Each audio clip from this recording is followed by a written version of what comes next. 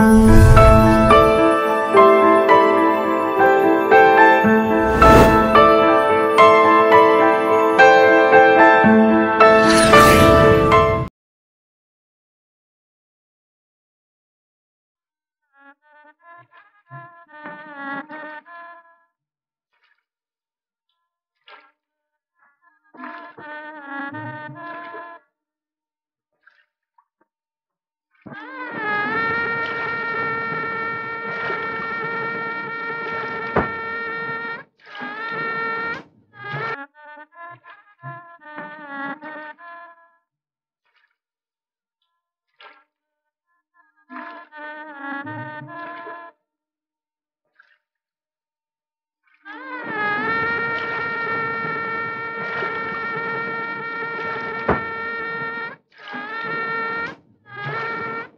তোমার এই বন্ধু বান্ধব ছেড়ে একলা বিমর্ষ হয়ে বসে থাকাটা আমার ভালো লাগছে।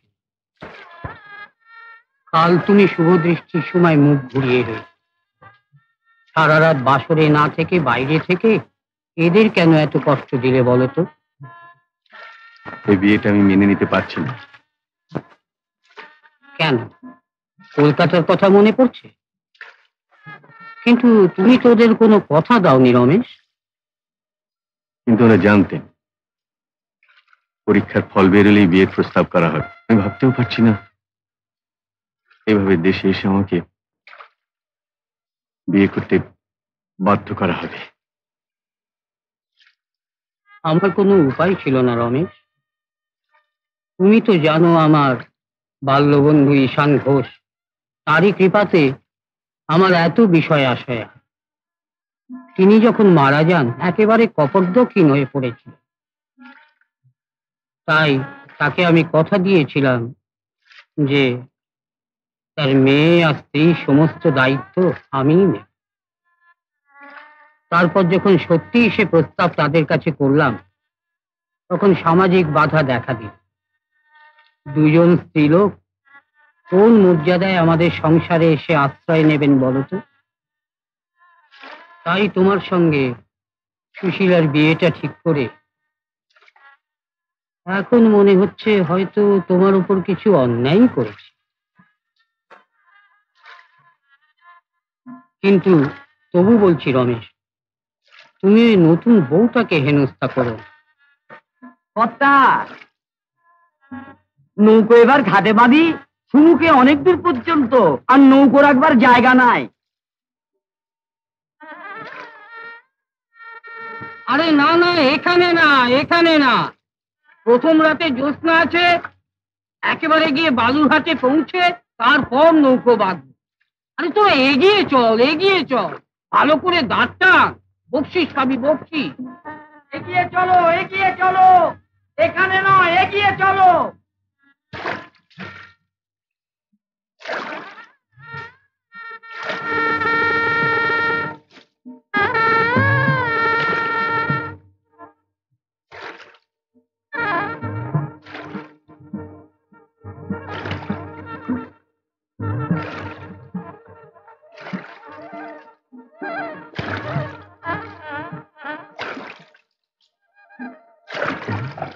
সামাল সামাল ঝড় আসছে।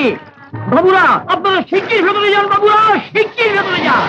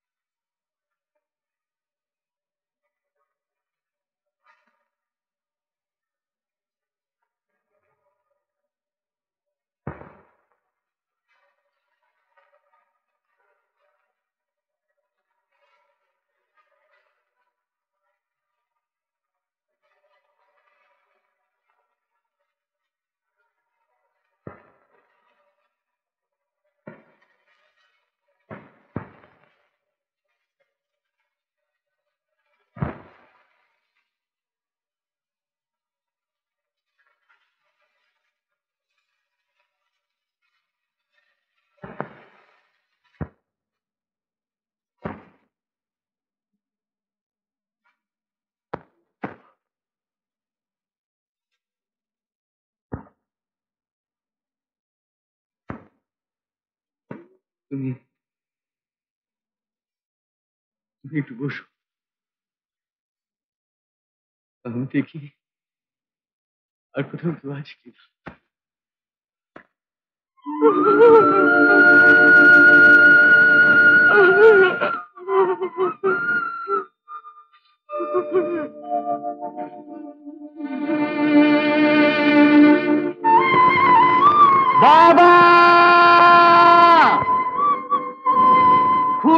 আছে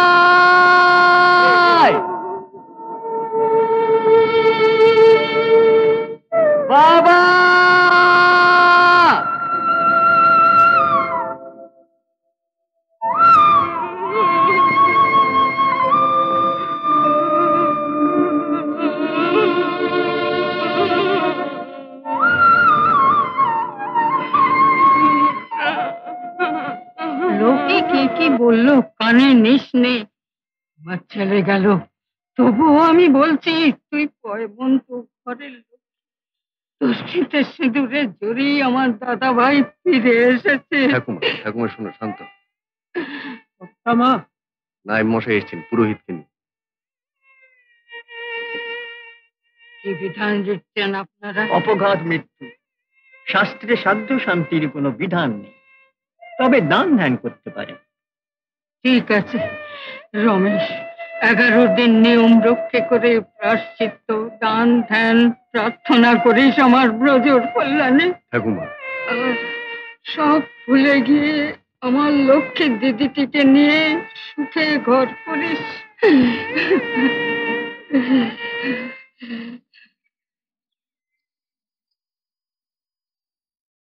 বুঝেছি। কি ভাবছিলে? কিছু না তুমি সবসময় একা একা থাকো কেন? কি ভাবো? তুমি কি করবে?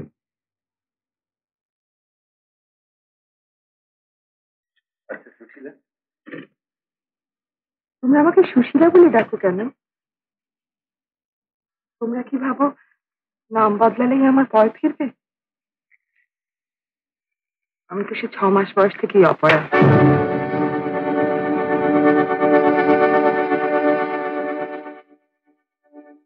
মাস বয়স থেকে অপয়া হলে কি করে? জন্মাবার আগে বাবা মরলেন? তারপর ছ মাস বয়সে মাও মারা।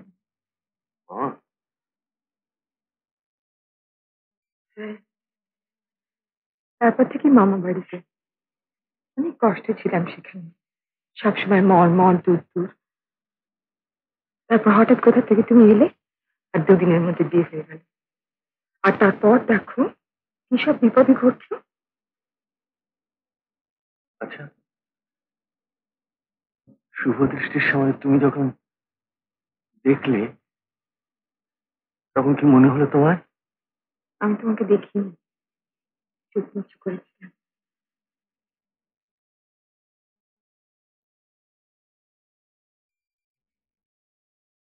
তুমি আমার নামও শুনোনি। যেদিন শুনলাম বিয়ে হবে। তারপরের দিন তো বিয়ে হয়ে গেল। তোমার নাম আর জানতে পারলাম কখন? মামি আমাকে তাড়াতাড়ি বিদে করে বেঁচেছে আচ্ছা। তুমি তো লিখতে পড়তে জানো তাই না? তোমার নিজের নামটা লেখো তো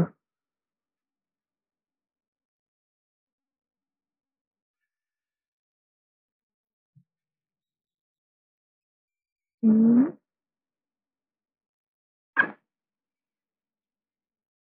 মন কি ক ম লা দে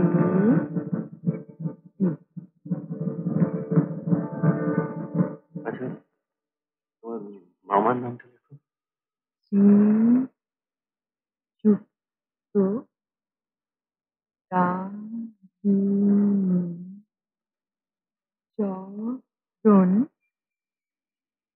চট্ট পাধ্যায়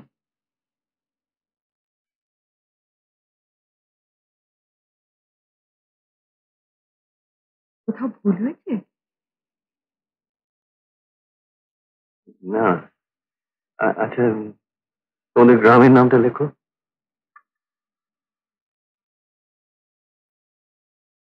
ও বা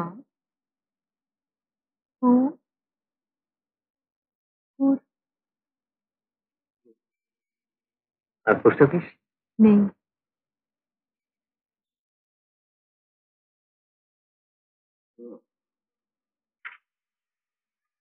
পোস্ট অফিসের নামটা জানো না? আচ্ছা দু চার দিনের মধ্যে কলকাতায় একটা বাসা ঠিক করতে পারবেন না মশাই আগে আমার জানি তো একজনের বাড়ি আছে। পাড়ায় হ্যাঁ। ও। আচ্ছা ঠিক আছে। আপনি তাহলে আজকে রওনা হয়ে যান এই বাসাটাকে ঠিক করে আসবাবপত্র কিনে সাজিয়ে আমাকে তার করে দেবেন। আচ্ছা। কলকাতায় চলে যাবে? হ্যাঁ। ওকালতি করতে হবে না?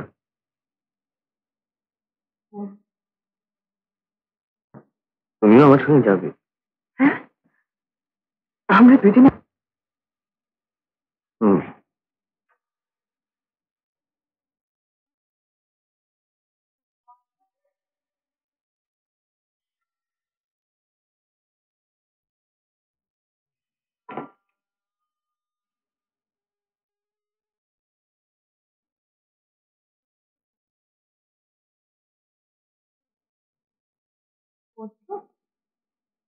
হুম এই নাম্বার রাখো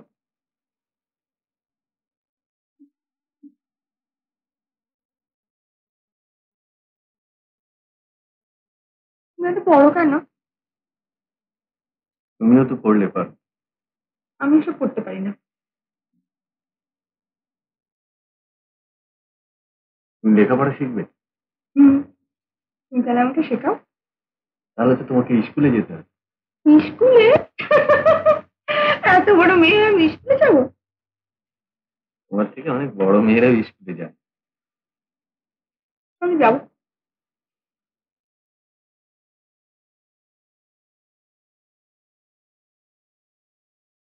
শুতে চলো না ঘুম পাচ্ছে। যাও আমি আসছি। এই পাতাটা শেষ করি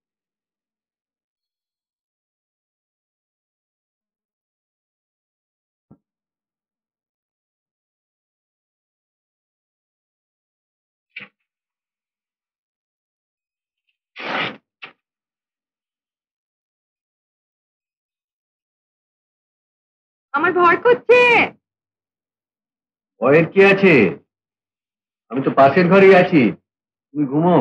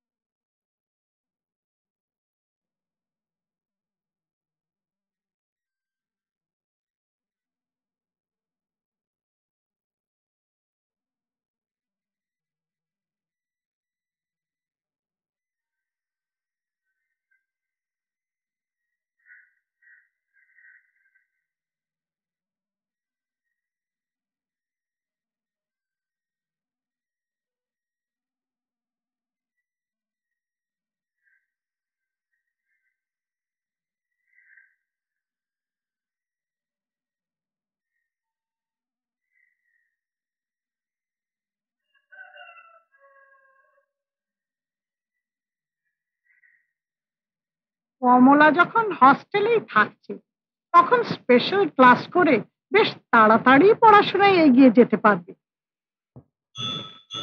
হ্যাঁ তাহলে তো ভালোই হয়। হ্যাঁ। কমলা তুমি ওর সঙ্গে হস্টেলে চলে যাও। তুমি ওকে নিয়ে যাও। যাও মা। আচ্ছা আমি তাহলে এখন চলি। হ্যাঁ নমস্কার।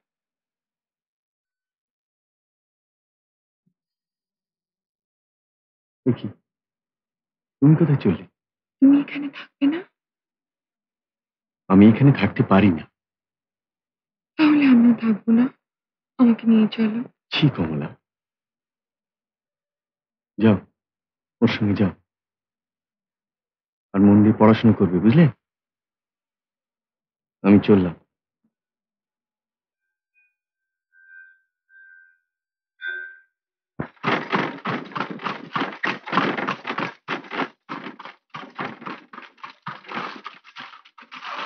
রমেশ না? রোকো রোকো। রমেশ। তুমি পুলিশ কোর্টে প্র্যাকটিস করছ? বেশ বেশ। যোগিন তো পরীক্ষায় ফেল করে পশ্চিমে বেড়াতে এলে কবে? এই কদিন হয়। উঠেছো কোথায়? বাসা খেদুর কাছে। চলো না যাওয়ার পথে আমাদের বাড়িতে একটু চা খেয়ে যাবে। আরে এসো এসো। একদিন তো তোমার চিঠিপত্র পাইনি। তোমার ঠিকানাও জানি না। আর ভেতরে এসো তারপর যেতে যেতে সব শুনব। এসো এসো। হেম হেম হেম দেখো দেখো কাকে ধরে এনেছি। রাস্তায় হঠাৎ দেখা হয়ে গেল তাই ধরে নিয়ে এলাম। নমস্কার।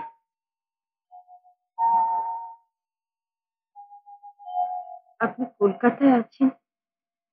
অথচ আমাদের জানাননি তো। ওর কি মাথা ঠিক আছে মা যে জানাবে? বাবা মারা গেছে। কবে? কি হয়েছিল? অতি সম্প্রতি। ঝড়ে নৌকাডুবি হয়। তাই নাকি? তাই আপনাকে এত রোগা দেখাচ্ছে। বসুন। তাছাড়া ধকলও তো কম যাচ্ছে না। এদের ধারে উঠেছে বাসা আর কোর্ট দেখাশোনা করতে করতে আর সময় পায়।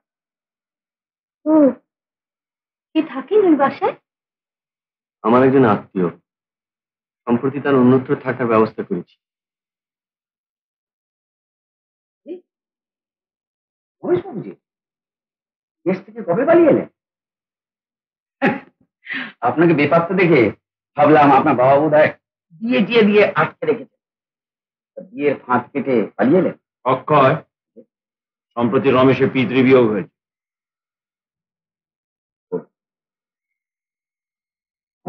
মাফ করবেন আপনাকে আমাদের নতুন অ্যালবামটা দেখানো হয়। চলুন অ্যালবামটা দেখি।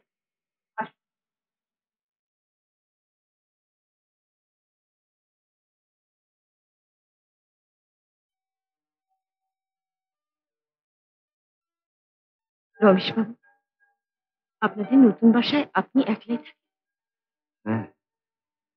আমাদের পাশে বাড়িতে আসতে দেরি করবেন না। না। এই সোমবারের মধ্যে চলে আসবে। মনে করছি আমাদের বিয়ের ফিলোসফি আপনার কাছে বুঝে নেব।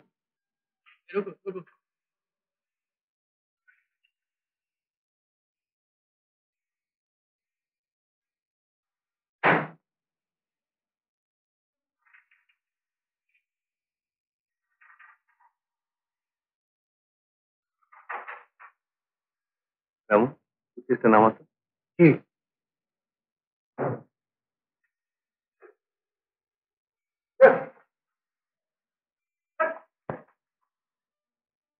আপনার বোধহয় পড়তে ভালো লাগে না। বই খুলে বসে থাকেন ওই একটাও তো পড়ার কথা বলেন না। হয় গল্প করেন নয় চুপ করে বোনেন। আমার তো মনে হয় আপনারই পড়াতে ভালো লাগে। তাহলে আমি আসি কেন? তা কি করে বলব বলুন? তবে রোজই দেখি পড়াতে গিয়ে আপনি অন্য মনস্ক হয়ে যান। তা ঠিকই বলেছেন। নানান ভাবনা মাথায় ভিড় করে। ভাবি এই আশা এই পড়ানো এসব সত্যি তো? নাকি আমি জেগে জেগে স্বপ্ন দেখছি? এরকম অদ্ভুত কথা ভাবছেন কেন? তা জানি না। কিন্তু মনে হয় মনে হয় এই পাঠ তো জীবন থেকে চুকে যাওয়ারই কথা ছিল। আপনি আপনার সাংসারিক দায়িত্বের কথা ভাবছেন না? ভাবছেন এ এক জ্বালায় পড়া গেল। নিজের কাজ ওকালতি ফেলে রেখে এই রোজ রোজ পড়াতে আসাটা ঝকমারি হয়েছে তাই না? তা নয়। ভাবি এসব যদি চুকে যেত তাহলে আমি বাঁচতাম কি নিয়ে? তাহলে পড়াতে বলে আপনার ক্ষতি করিনি। না বরং মস্ত উপকার করেছে। অবশ্য সবই ভাগ্যের ব্যাপার। ভাগ্য কিসে উম, না মানে একবার একজন আমার হাত দেখে বলেছিল যে আমার ভাগ্যরেখা ভালোই তবে একটা বাধা আছে সেটা কেটে যাবে। আমি যা চাই তা পাবো। বাধা কেটে গেছে? যা চান তা পেয়েছেন? পাবো। মনে মনে সে ভরসা হচ্ছে। আমার ভাগ্যটাও দেখাবো ভাবছি। ওই দেখি। ভাগ্যরেখা আমি চিনি। আমি ঠিক বলতে পারব। কি চাই? তাও? উম, বাঁ হাতটা দেখি।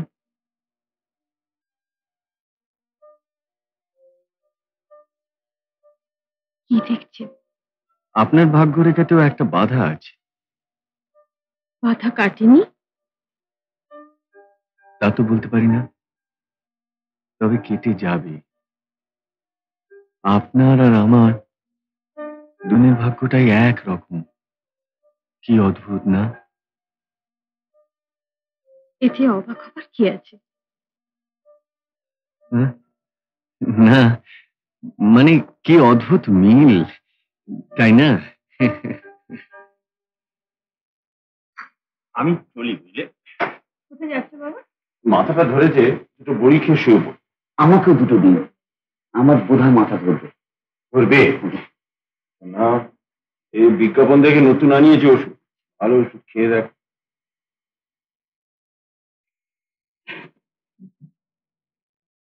একটা চা। ও হ্যাঁ নিশ্চয় নিশ্চয়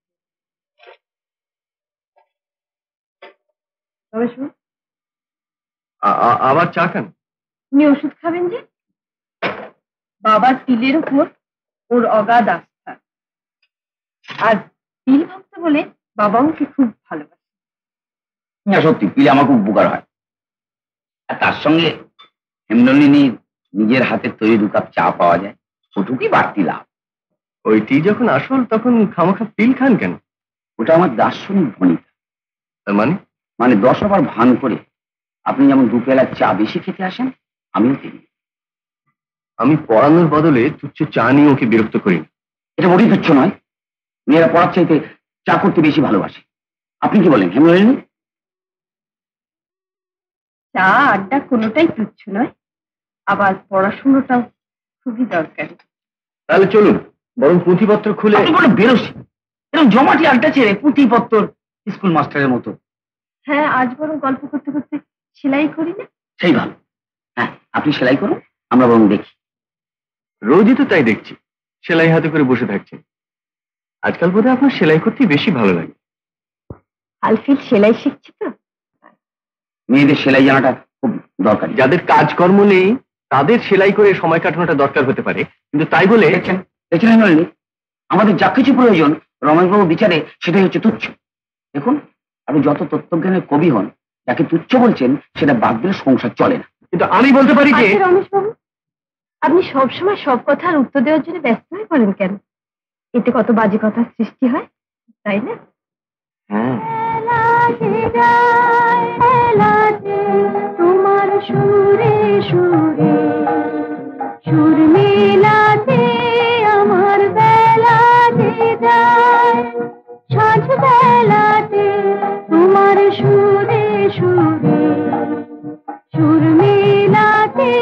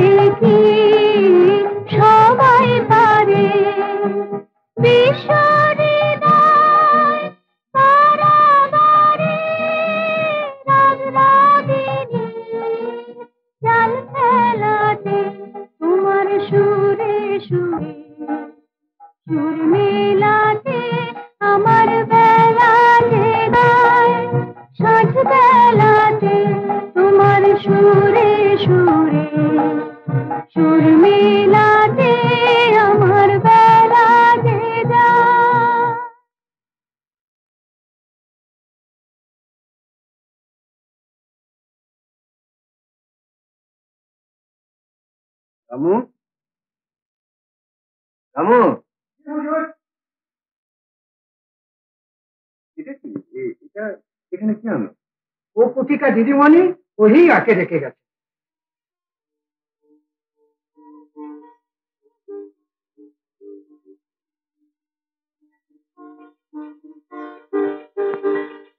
যাও।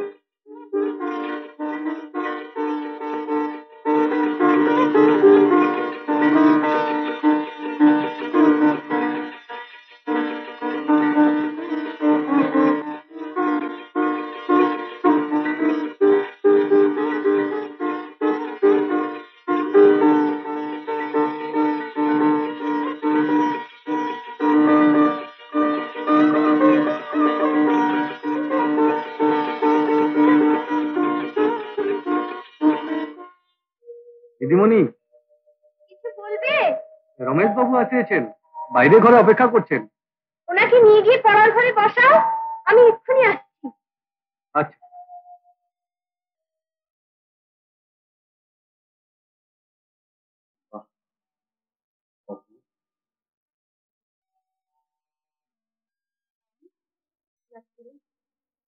তুই আপনার পছন্দ হয়েছে এ, সেলাইয়ের জন্য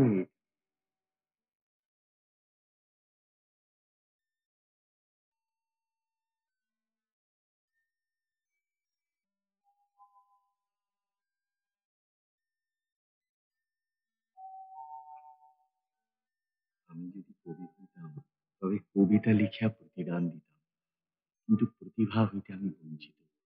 ঈশ্বর আমাকে দিবার ক্ষমতা লইবার ক্ষমতাও একটা উপহার আমি যে কেমন করিয়া গ্রহণ করিলাম অন্তর্যামী ছাড়া তাহা আর জানিতে চোখে দেখা যায় হৃদয়ের ভিতরে লুকানো চিরঋণী।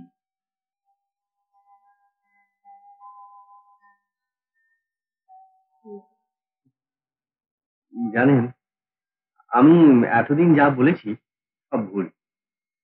মানে সময় কাটাবার জন্য সেলাই। সেলাইয়ের প্রয়োজনীয়তা আছে। আছেই তো নিশ্চয়ই আছে। মানে আরও অনেক কিছু আছে। আমি বোধহয় ঠিক বুঝিয়ে বলতে বুঝেছি। বসুন।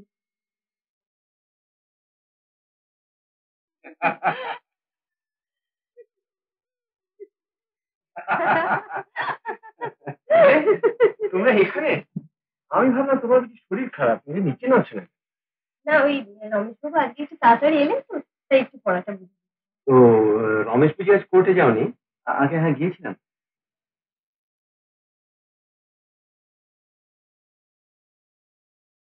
না মা আমাকে অত দিও না হয়ে যাবে। দুটো পিল খেয়ে নিও কিচ্ছু হবে না। তা অবশ্য ঠিক। বুঝলে রমেশ ওই বড়ি থেকে আমি যে কি উপকার পেয়েছি কি তুমিও খাওয়ার পর দুটো খেয়ে নিও সব হজম হয়ে যাবে। অক্ষয় অনেক উপকার পেয়েছে। অক্ষয় বাবুকেও খেতে বললে হতো। না না এত রাত্রি পর্যন্ত ওকে আটকে রাখব কি করে? তাছাড়া বৃষ্টি নেমেছে এই বৃষ্টির জলে পা ভেজানো ওর পক্ষে উচিত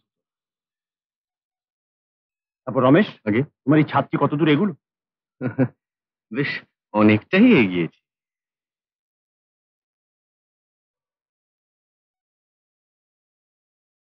আমার বেলা যে যায় বেলাতে রে রে উর্মিলাতে আমার বেলা না এটা না এটা না গোপনে গোপনে গান আচ্ছা আপনাকে ক্রিমিনাল করে দণ্ডবিধি এগুলো পড়ে না না আমার অপরাধ আমি কবুল করি। আচ্ছা আচ্ছা। শুনুন বিশেষ ব্যাপারে আপনার সঙ্গে আলোচনা করতে আপনি ভালো করে জানেন যে হেমনলিনী দেবীর ভালো মন্দ ব্যাপারে আমি একেবারে উদাসীন নই। তার সম্বন্ধে আপনার কি অভিপ্রায় সেটা জানার অধিকার আমার আছে। আমি অন্নদাবাবু বিশেষ করি তার সম্বন্ধে আমার কোনো মন্দ অভিপ্রায় আছে? এমন আশঙ্কা আপনার মনে আসার কোনো কারণ ঘটেছে? কিছু বলেই তো বলছি। কালকে আমি চলে আসার পর অনেক রাত্রি পর্যন্ত আপনি সেখানে যাকে আপনার আচরণে হেমনলিনী দেবীর চরিত্রে কলঙ্ক রয়েছে। এসব কথা বলার আপনি? তার সম্বন্ধে আমার দুর্বলতা আছে সেই অধিকারে আমি এগুলো- বলতে পারি। সে দুর্বলতা তো আমারও থাকতে পারে। কিন্তু আপনি তো তাকে বিয়ে করবেন না। কে বলবে? কি আশ্চর্য আপনার বাবা হচ্ছেন একজন গোড়া হিন্দু ব্রাহ্মণ। তার মৃত্যুতে আপনি স্বাধীন হতে পারেন। কিন্তু তার মতের বিরুদ্ধে আপনি একজন ব্রাহ্মণকে বিয়ে করবেন না তো জানা কথা। তাই বলছিলাম আপনি অন্নদাবাবু বিশেষ করে হেমনলিনী দেবী দেখুন অক্ষয়বাবু আপনার কথা আমি শুনলাম। আমার যা বলার আমি অন্নদাবাবুকে বলব। শুনে নিশ্চিন্ত।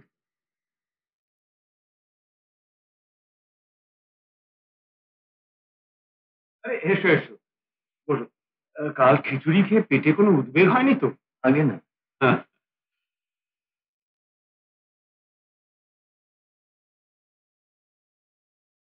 অন্নদাবাবু আপনি যে আমাকে নিকট আত্মীয়ের মতো আপনার ঘরের মধ্যে অবাধ যাতায়াতের অধিকার দিয়েছেন এই যে আমার কত বড় সৌভাগ্য। তোমার মতন ছেলেকে ঘরের ছেলে করতে পারা কি আমার কম সৌভাগ্য? আপনি তো আমার বিষয়ে সবকিছুই জানেন পাত্র বলে মনে করেন। নিশ্চয়ই এই- এই তো বলাই বাহুল্য। আমরা তো এক প্রকার স্থির করেই রেখেছিলাম জানো? শুধু তোমার পারিবারিক দুর্ঘটনার জন্য দিনটা স্থির করতে পারি। সমাজে এসব নিয়ে নানা কথা সৃষ্টি হচ্ছে সেসব চিরতরে বন্ধ করে দেওয়া আমাদের কর্তব্য কি বলো? হ্যাঁ, আপনি যা আদেশ করবেন এই বিষয়ে তাই হবে। তার আগে একবার হেমনলিনীর মতটা তো জানা দরকার। নিশ্চয়ই কিন্তু সেও আমার এক প্রকার জানা আছে। তবু তবু আমি তাকে তোমার সামনে হাজির করে দিচ্ছি। হেম হেম। হেম। রমেশ রমেশ একটি প্রস্তাব করেছে। আমার বিশেষ ইচ্ছে বিয়েটা হোক অবশ্য যদি তুমি রাজি থাকো।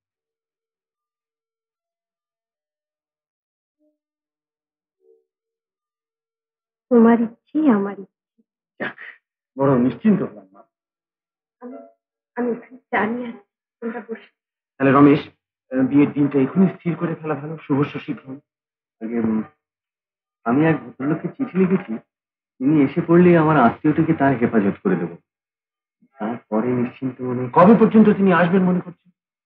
খুব দেরি হলে এক সপ্তাহ অন্তত তার মধ্যে তার চিঠি আমি পাবো। এক সপ্তাহ তার মানে আজকে এক বৃহস্পতিবার আগামী বৃহস্পতিবার শুক্র শনিবার রবিবার খুব ভালো দিন পূর্ণিমা।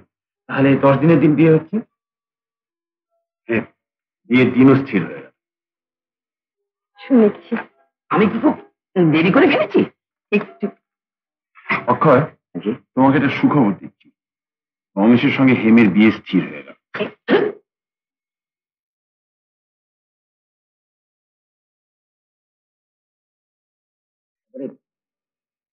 হয়ে গেল? আমার।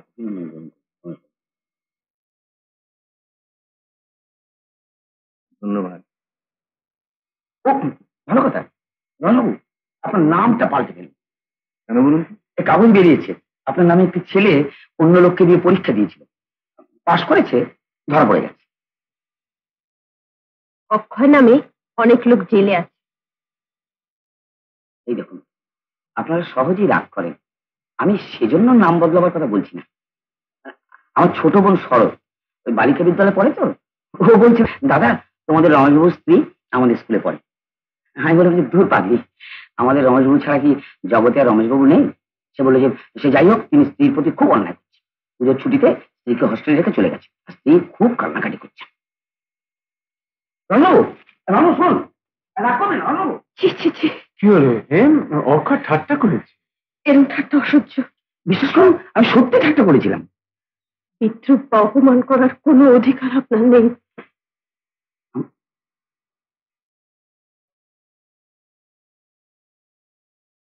কমলার স্বামীর নাম নলিনাক্ষ চট্টোপাধ্যায়। পেশায় ডাক্তার, রংপুরের অধিবাসী। ওই ভয়াবহ নৌকাডুবির পর বহু খোঁজ করিয়া তার সন্ধান পাওয়া যায় না। সেই হেতু তিনি যে মৃত্যু, তাহাতে কোনো সন্দেহ নেই। লিখিয়াছেন, কমলা আপনার স্ত্রীর পরিচয় আছে। তাই তার ভালো মন্দের দায় একান্তই আপনার। আমি তাহার সহিত আর কোনো সম্পর্ক রাখিতে চাহি না। ভবিষ্যতে আপনার সহিত পত্রলাভ করিতে আমি নই।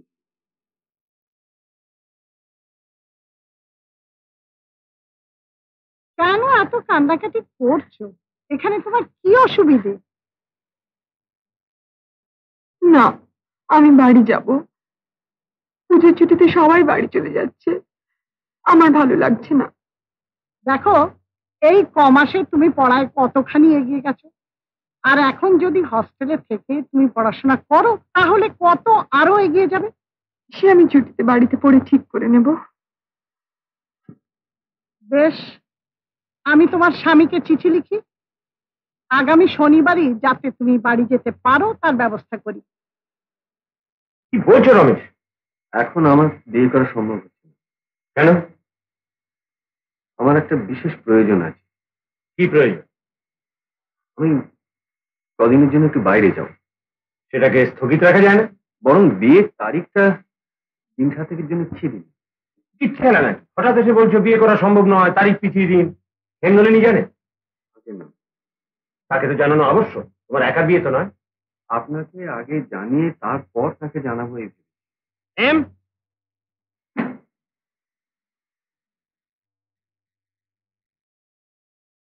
রমেশ কি বলছে শোনো। তোমাদের কাজ তোমরা মীমাংসা করো। আমি কিচ্ছু জানি না।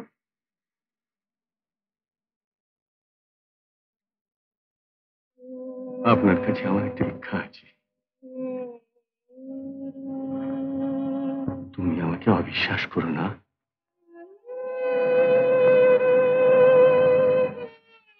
এই কথা বলো। তুমি কখনো আমাকে অবিশ্বাস করবে না।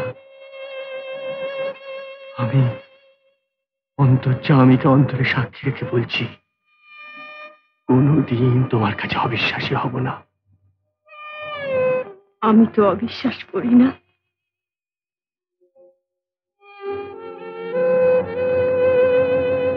কেন আমি এক সপ্তাহ বিয়ে স্থগিত রাখতে বলেছি তার কারণ জানতে চাও?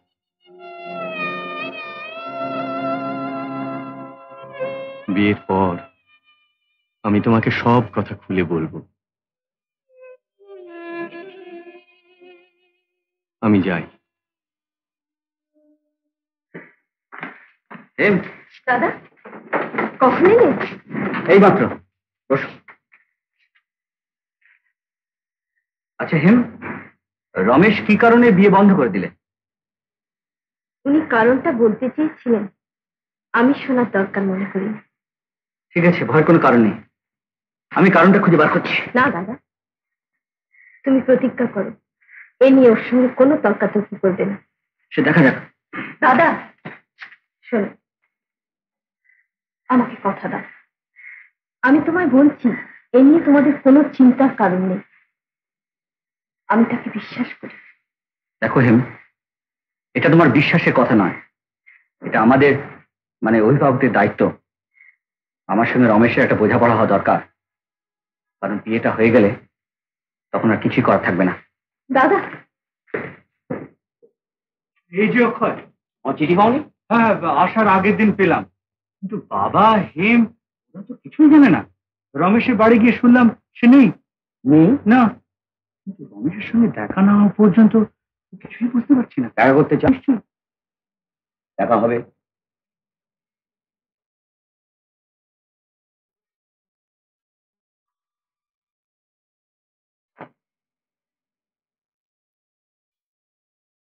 বসো।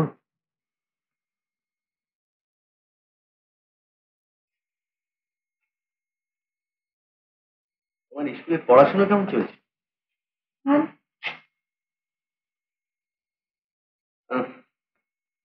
বোধ হয় অনেকক্ষণ খাওনি। আমি খেয়ে এসেছি। তাহলে একটু কিছু খাবে না? মিষ্টি না হোক ফল তো আছে একটু ফল খাও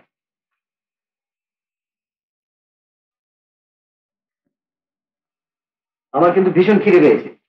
আমি আর সবুর করতে পারছি না।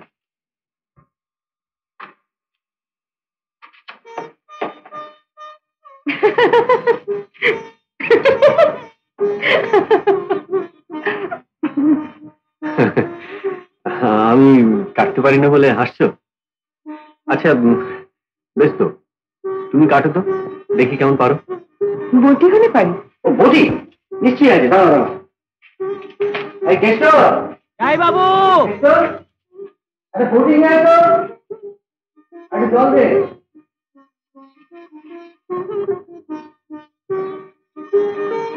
কি হলো রে? এই যে বাবু।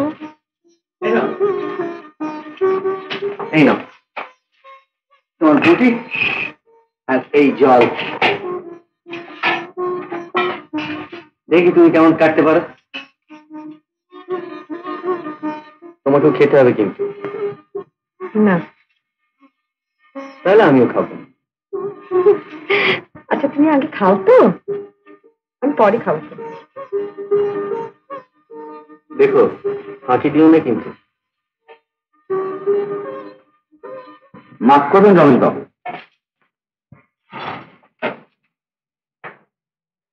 ভেবেছিলাম একাই আসেন ঠিকই যোগেন। খবর না দিয়ে এভাবে হঠাৎ এসে পড়াটা ঠিক হয়নি। চল আমরা নিচে অপেক্ষা করি।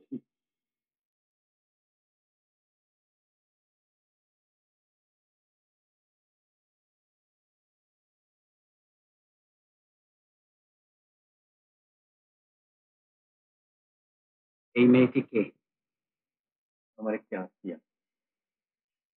কি সম্পর্ক? হ্যাঁ যোগেন নিশ্চয়ই কোনো গোপনীয় সম্পর্ক। গোপনীয়? হ্যাঁ গোপনীয় এই মেয়েটির সম্বন্ধে আমি তোমাদের সঙ্গে কোন রকম আলোচনা করতে ইচ্ছে করি হেমের সঙ্গে বিয়ের কথা না হলে তার প্রয়োজন হতো না। পৃথিবীতে কারও সঙ্গে আমার এমন কোনো সম্পর্ক নেই যাতে হেমনলিনীর সঙ্গে পবিত্র সম্পর্কে আমার কোনো বাধা থাকতে পারে। বটে? এই মেয়েটির নাম কমলা কিনা? হ্যাঁ। তাকে স্ত্রী বলে পরিচয় দিয়েছ কিনা? দিয়েছি। তাহলে কমলার সাথে সত্যি সম্পর্কটা কি দাঁড়াচ্ছে? কমলার সম্পর্ক নিয়ে প্রকাশ্য আলোচনায় বাধা। যদি নিজের সুখ দুঃখ নিজের মান অপমানের বিষয় হতো তাহলে আমি গোপন করতাম না। কিন্তু অন্যের প্রতি অন্যায় করতে পারব না। হেমের প্রতি অন্যায় করনি? না। তাকে এসব বলেছ? না। তবে একমাত্র তাকেই সব বলতে পারি। কমলাকে এ সম্বন্ধে দু একটা প্রশ্ন করতে পারে? না। নির্দোষ কমলাকে কোনো প্রশ্ন করতে দেব না। শোনো রমেশ তোমাকে একটা কথা স্পষ্ট করে বলে যাচ্ছি। এরপর যদি তুমি আমার বাড়িতে আসবার চেষ্টা করো তাহলে তোমাকে অপমানিত হতে হবে। চলো ক্ষয়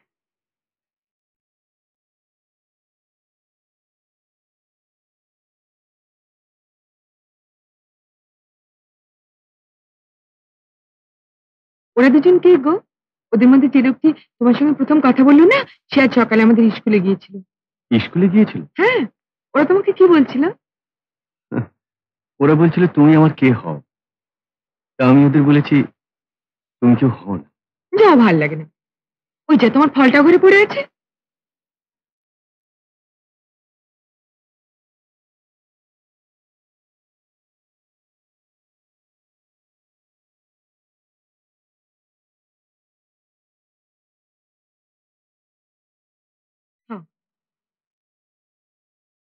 আজ রাত্রি আমরা দেশে যাব। সেখানে আমার ভালো লাগে না। তোমার স্কুলে থাকতে ভালো লাগে? না তুমি আমাকে আর স্কুলে পাঠিও না আমার খুব লজ্জা করে।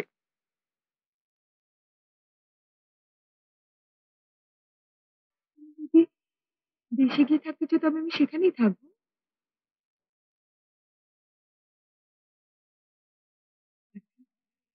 সত্যি করে বলো তো আমি ছুটির সময় স্কুলে থাকতে চাইনি বলে তুমি আমার উপর রাগ করেছ না? না। আমি তোমার উপর রাগ করিনি। আমি নিজের উপরই রাগ করেছি।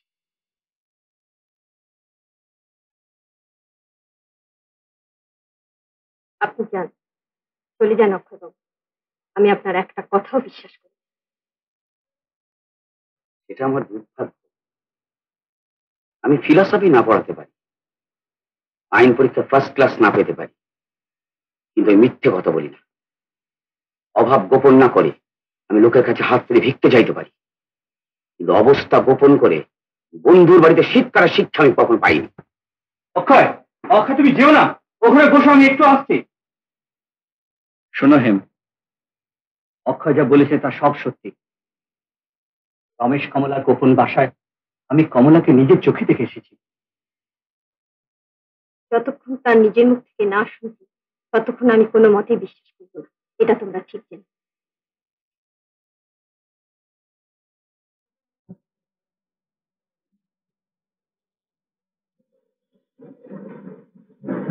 এই নাও বাজার। আর এই উনুন তুমি খালাসিদের রান্না খেতে হবে শুনে যেরকম নাক শীত করলে তাই নিয়ে এলাম। আর এই হচ্ছে উমেশ এ তোমার ফাইভ ফরমাস খেটে দেবে। উমেশ ওকে কোথায় পেলে? ওই নিচে ঘুরঘুর করছিল কাজ করবে কিনা জিজ্ঞেস করতে রাজি হয়ে গেল। ভালো করেছ।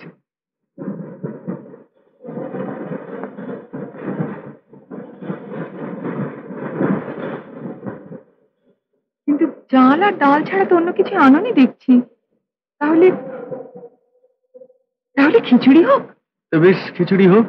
ও মা হাঁড়ি? ও হাঁড়ি? আচ্ছা ঠিক আছে সন্দেশ হাঁড়িটাতে কাজ চালিয়ে নেব তুই যা উনুনটা ধরিয়ে নিয়ে আয়।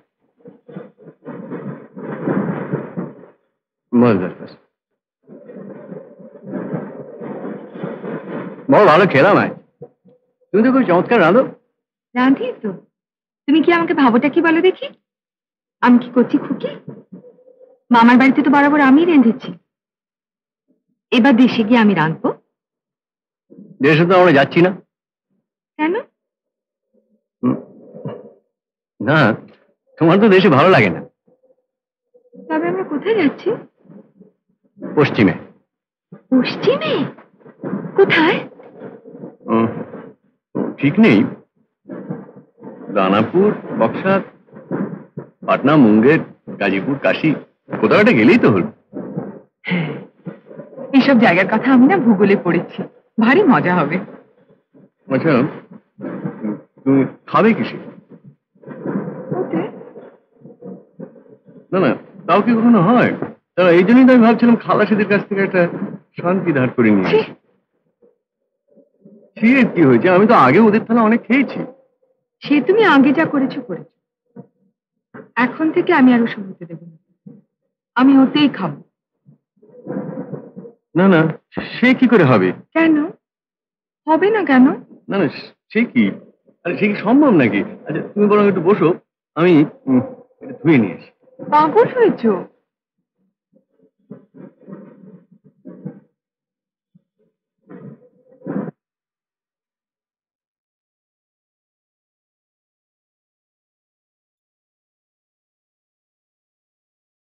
আজ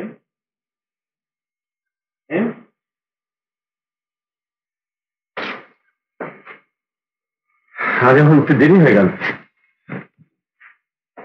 তোমার মুখ দেখে মনে হচ্ছে রাত্রে তোমার ঘুমই হয়নি? না বাবা আমি ঘুমিয়েছি। চলো না চা খাবে চলো।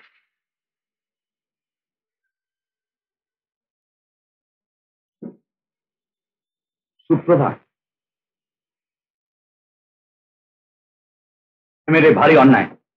ওর অবদ্ধতাকে তুমি প্রশ্রয় দিও না, বাবা। এমের এখানে আসা উচিত। হেম হেম যোগেন, তুমি আমার কেস আরও খারাপ করে দিচ্ছ। আমার সম্বন্ধে এখন কোনো কথা হেমকে বলো না। সময় সব ঠিক হয়ে যাবে।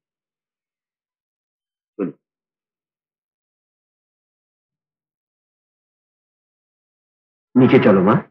বড় খারাপ। চলো। হ্যাঁ এবার তোমার যেতে পারো। অক্ষয় চলে গেছে। তো কি হয়েছে সেটা শোনো। কি হয়েছে? রমেশ তার স্ত্রীকে নিয়ে গোয়ালন্ডের মেলে দেশে যাচ্ছিল। হঠাৎ অক্ষয়কে দেখে দেশের স্টিমারে না উঠে হয়তো একটা অন্য স্টিমারে উঠে গা ঢাকা দিয়েছে। কি বলছো তুমি?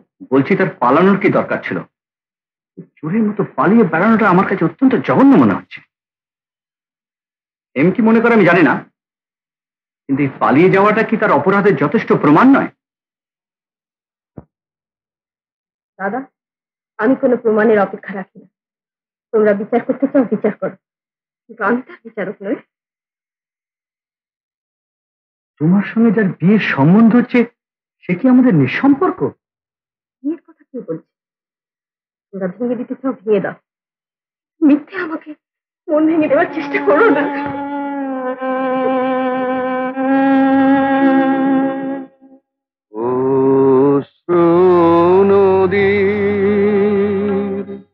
সুদূর পারে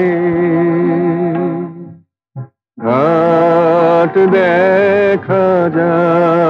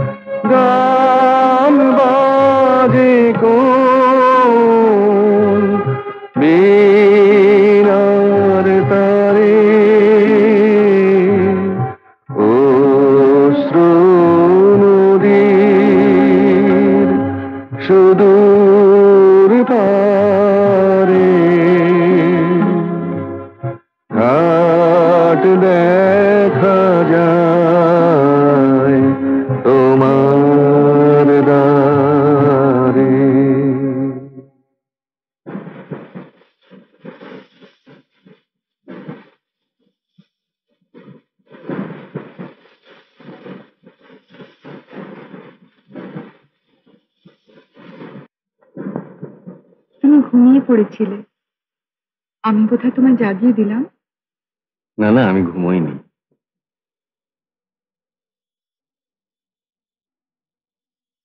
আমি বসে বসে একটা গল্পের শেষ ভাবছিলাম। তুমি বসো না তোমায় গল্পটা বলি। কি গল্প?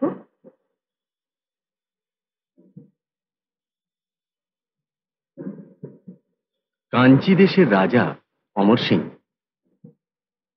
মেয়ে চন্দ্রার বিয়ে ঠিক করলেন মদ্র দেশের রাজা রঞ্জিত সিং এর সঙ্গে। রাজপুরোহিত বললেন যে, রাজকুমারী চন্দ্রার বিয়েতে শনি গ্রহের দৃষ্টি পড়েছে। তাই বিয়ের আগে সে যেন কিছুতেই বরের নাম না জানতে পারে। তারপর বিয়ের দিন সেই মদ্রদেশের রাজা রঞ্জিত সিং এর ভাই ইন্দ্রজিৎ সিং, সে সৈন্য, সামন্ত, লোক, লস্কর আর বরের তলোয়ারটি নিয়ে কাঞ্চিতে এসে উপস্থিত হলো।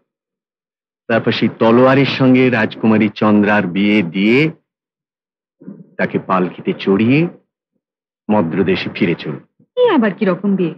বর হাজির নেই আর তলোয়ারের সঙ্গে বিয়ে? তখনকার দিনে ক্ষত্রিয়দের ওই রকমই নিয়ম ছিল। বরের বদলে তার তলোয়ার যেত তারপর সেই তলোয়ারের সঙ্গে কোণের মালা বদল হতো তারপর নতুন বউ বাড়ি এলে তখন বিয়ের অন্য আচার অনুষ্ঠানগুলো হতো। তারপর? কাঞ্চি থেকে মদ্র এক মাসের পথ হুম। কিছুদিন পথ চলার পর একদিন সন্ধেবেলায় পাহাড় ঘেরা বেতস নদীর ধারে অন্ধকার হয়ে এলো। হুম। সেখানে ইন্দ্রজিতের লোকজনরা আর এক দল ক্ষত্রিয়ে দেখা পেল। তারা আবার কারা? তারা কলিঙ্গরাজ চেত সিং এর লোকজন। তারাও ওইভাবে বিয়ে করে ওই তলোয়ার কি? হ্যাঁ ওইভাবে তলোয়ারের সঙ্গে বিয়ে দিয়ে তারা নববধূকে নিয়ে নিজেদের দেশে ফিরছিল। এখন তাদের লোকজন কম। তারা ইন্দ্রজিতের কাছে সাহায্য চাই ইন্দ্রজিৎ তাদের অভয় দিয়ে তার নিজের শিবিরের ভেতরে তাদের শিবির স্থাপন করবার অনুমতি দিলেন। হুম। গভীর রাত। সবাই ঘুমিয়ে অচেতন। এমন সময় শিবিরের মধ্যে হই চই গোলমাল শুরু হয়ে গেল। ডাকাতরা শিবির আক্রমণ করেছে। অন্ধকার রাত শত্রু মিত্রকে চেনা যাচ্ছে না। সেই বিশৃঙ্খলার সুযোগ নিয়ে ডাকাতরা সমস্ত লুটপাট করে জঙ্গলে পালিয়ে গেল। আর রাজকুমারী চন্দ্রা? চন্দ্রাও ভয় পেয়ে তাঁবু ছেড়ে বেরিয়ে এসে অন্ধকারে জঙ্গলের মধ্যে চলে গিয়েছিল। এদিকে ওই কলিঙ্গরাজের নববধূকে ডাকাতরা চুরি করে নিয়ে গিয়েছিল। কলিঙ্গরাজের লোকজনরা রাজকুমারী চন্দ্রাকেই তাদের নববধূ ভেবে তাকেই পালকিতে চড়িয়ে নিজেদের দেশে নিয়ে গেল। তারপর তারপর চেত সিংহ সমাদরে রাজকুমারী চন্দ্রাকে গ্রহণ করলেন। রাজকুমারী চন্দ্রাও চেত সিংকে স্বামী জ্ঞান করে সতী সাধ্যের মতন তাঁর সেবায় নিজেকে বিলিয়ে দিল। কিন্তু কথায় কথায় চেত সিং বুঝতে পেরে গেলেন যে যার সঙ্গে ঘর করছেন সে কিন্তু তার স্ত্রী নয় সে রাজকুমারী চন্দ্রা।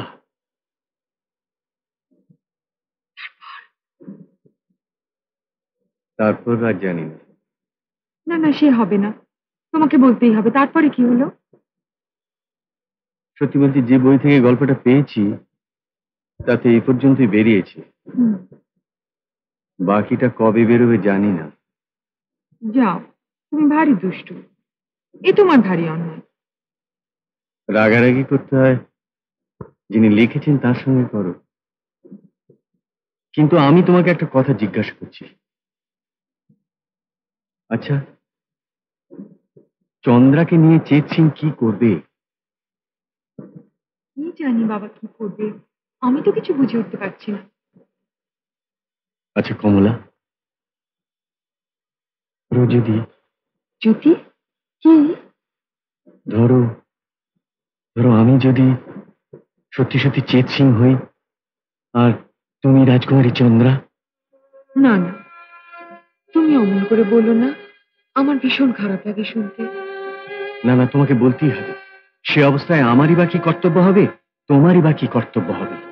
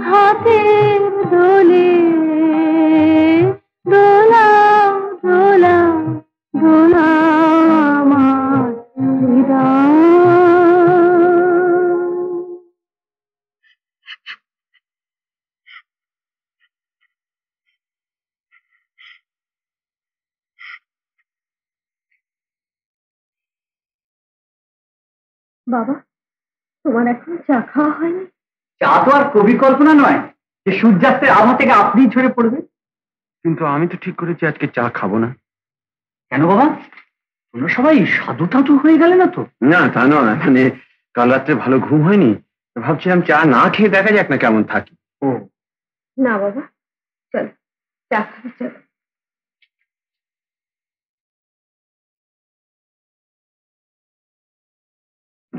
যোগেন আমি চলি কেন বাবু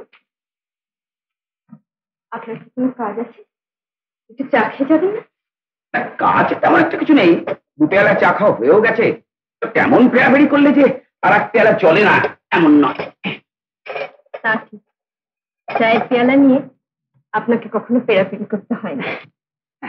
ভালো জিনিসকে আমি কখনো প্রয়োজন নেই বলে ফিরিয়ে দিই না। ভালো জিনিসও যেন তোমাকে প্রয়োজন নেই বলে ফিরিয়ে না দেয়। আমি তোমাকে এই আশীর্বাদই করি। বাবা অক্ষয়বাবুর অন্যায়টা দেখেছ? কদিন উনি তোমার পিল না খেয়ে দিব্যি ভালো আছেন। এতটুকু কৃতজ্ঞতা বোধও যদি থাকতো তাহলে অন্তত মাথাটাও ধরতো। একেই বলে পিল হারাম। এ তো লোকের বিশ্বাসে হস্তক্ষেপ। আমার পিলাহারি দলের মধ্যে একটিমাত্র অক্ষয় আছে তাকেও ভাঙিয়ে নেওয়ার চেষ্টা। সে ভাই করবেন না অন্নদাবাবু। অক্ষয়কে ভাঙিয়ে নেওয়া খুব শক্ত। আমার মাফ করবেন। আমি এখন আসি। আমিও কাজের কথাটা ভুলেই গেছিলাম। আমি তাহলে চলি। আসি যোগে।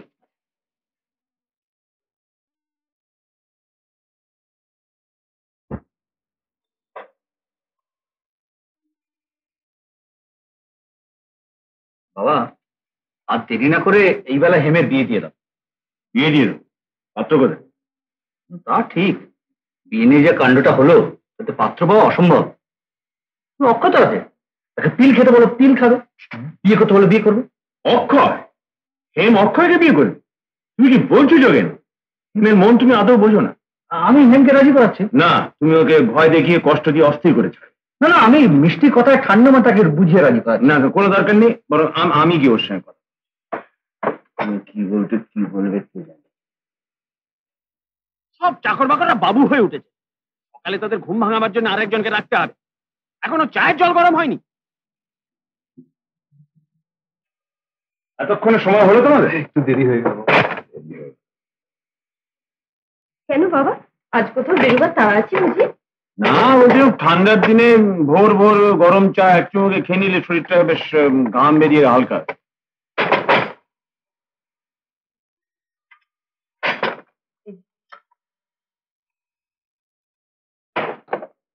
না তুমি না তো তাড়াতাড়ি চলো খেয়ে নি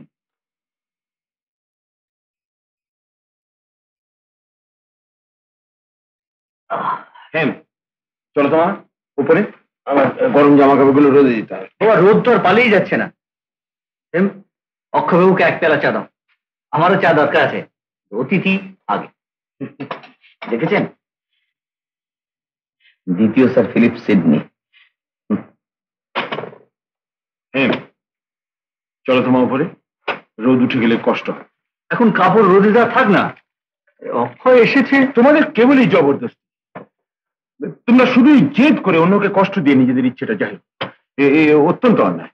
হেম, কাল থেকে আমার ঘরে তোমাতে আমাতে বসে চাপ বাবা, একটু বসো না। তোমার আর চা খাও তো ভালো করে হলো না।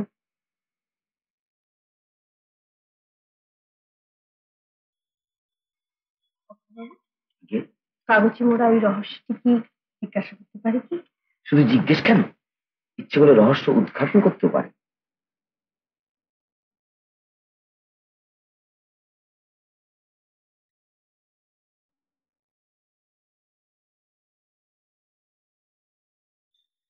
এখনও রহস্য সম্পূর্ণ উদ্ঘাটিত হয়নি। শ্রীমতী হেমনলিনীর প্রতি শ্রদ্ধার উপহার। বাবা, চলো।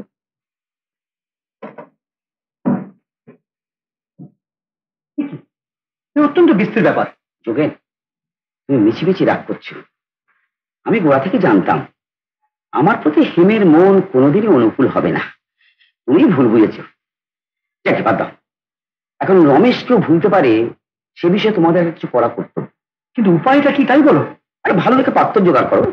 যাকে দেখলে অন্তত রোদ্রে কাপড় দেওয়ার ইচ্ছাটা প্রবল না হয়। কিন্তু পাত্র তো আর ফরমাস দিয়ে মেলে না। আমার সন্ধানে একজন আছে। তুমি চেনো জানো না। নলিন বাবু। যে ব্যক্তি কিছু হারায়নি সে কিছু পায়নি। অমনি যে আমাদের হাতে আসে তাকে আমরা সম্পূর্ণ পাই না। ত্যাগের দ্বারা আমরা যখন তাকে পাই তখনই যথার্থতা আমাদের অন্তরের ধন হয়ে ওঠে। ঘুরে গেলে যে হারিয়ে ফেলে, সে লোক অতি দুর্ভাগা। যা আমার যায়। তার সম্বন্ধে যদি আমরা নত হয়ে করজোরে বলি, এই দিলাম আমার ত্যাগের দান, আমার দুঃখের দান, আমার অশ্রুর দান। তখন বৃহৎ হয়ে ওঠে। অনিত্য নিত্য হয় এবং যা আমাদের নিত্য ব্যবহারের উপকরণ মাত্র ছিল, তা পূজার উপকরণ হয়ে আমাদের অন্তরের মণিকোঠায় চিরসঞ্চিত হতে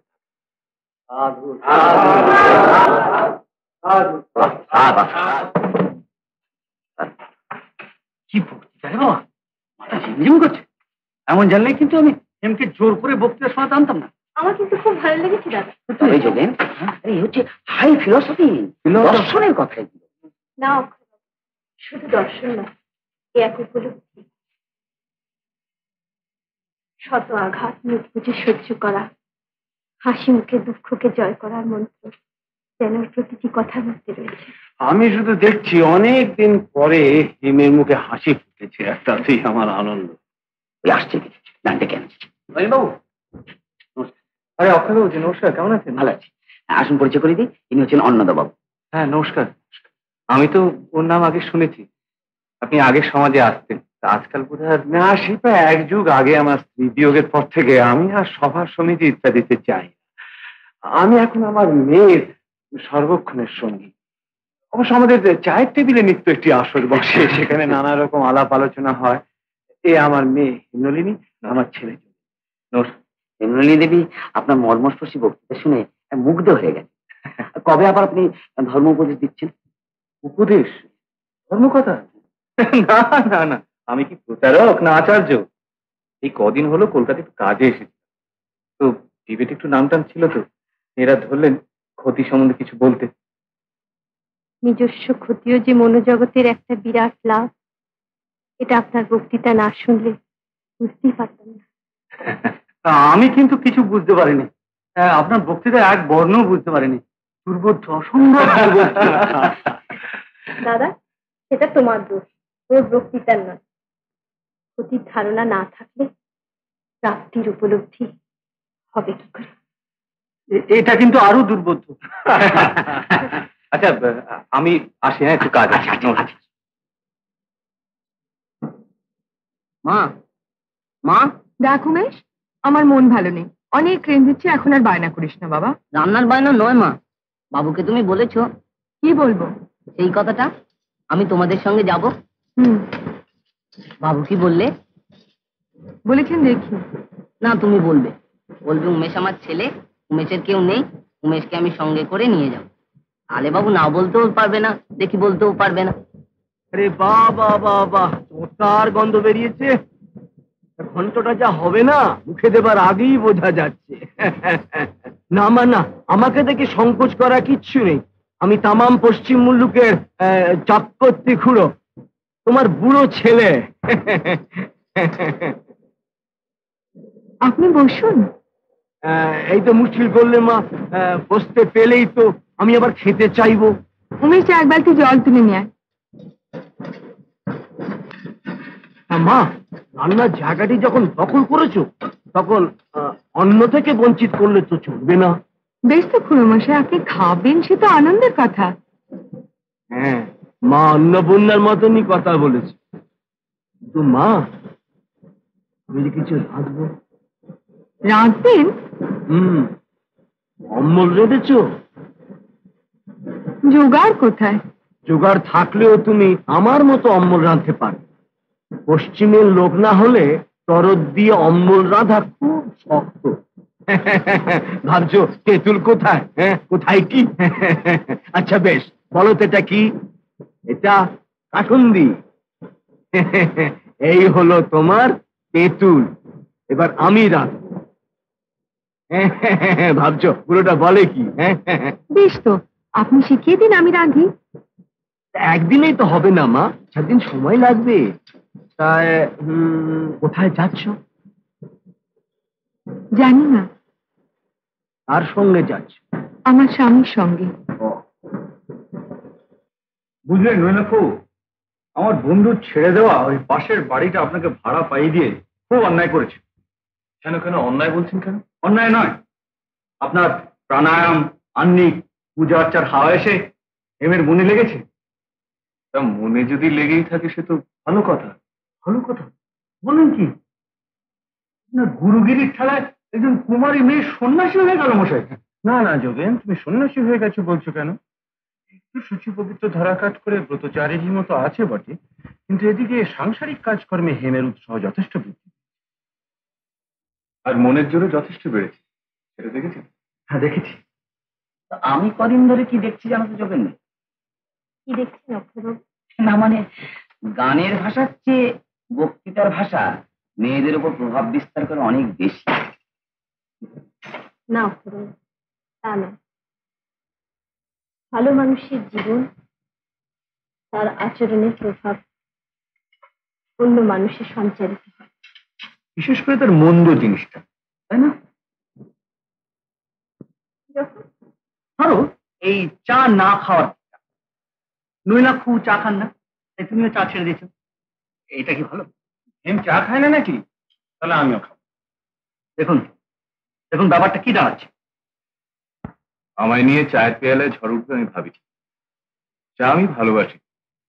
আপনারা খান আমি তাদেরকে তৃপ্তিও পাই। আসলে আসলে আমার মা চা খান না তাই আমিও খাই না। যেমন অন্নদাবাবু ওর মেয়ের প্রতি মমত্ববোধে চা খাবেন না বলেছেন। বাবা তুমি চা খাও আমিও খাব। না মা আমার জন্য তোমার রুচিকে কষ্ট দিই আপনাকে সুখী করাই তো সাধনা অন্নদাবাবু। তাহলে চা দিই তা কি বলিস যোগেন্দ্র? গানের চাইতে বক্তৃতার প্রভাব মেয়েদের উপর বেশি কিনা? আমাদের উপর মনে মনে খুব চটেছ না কমলা? কেন গো শৈলদি? সর্বক্ষণ দুটিতে পাশাপাশি থাকতে অথচ বাবা এমন একটা বাড়িতে এনে তুললেন যেখানে তোমাদের একটা আলাদা শোবার ঘর পর্যন্ত নেই। যত সব বাজে কথা। কেন সত্যি দেখো না। কতদিন বরের মুখ দেখনি বলো তো? একটা হওয়ারই কথা। কেন? দু চার দিন বিপিন বাবুকে না দেখলে তোমার এমন রাগ হয় বুঝি? রাগ? দু চার দিন কি বলছো ভাই? অফিসে যাওয়ার আগে আর ফিরে এসে। আদর না করে দেখুক তো অনার সৃষ্টি হয়ে যাবে না? হাসো আর যাই করো।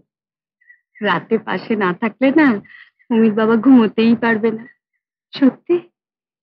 আহা, তুমি যেন কিছুই জানো না। মেয়ে কি? আমার ফিরতে সন্ধে হবে বুঝলে? তোমার জন্য একটা বাড়ি আজ আমি খুঁজে বার করবই করব। আমি কি আপনার সঙ্গে যাব? না না না না না বাড়িটা খালি রইল তো। উমেশটা আবার তোমার খুড়িমার সঙ্গে গেছে।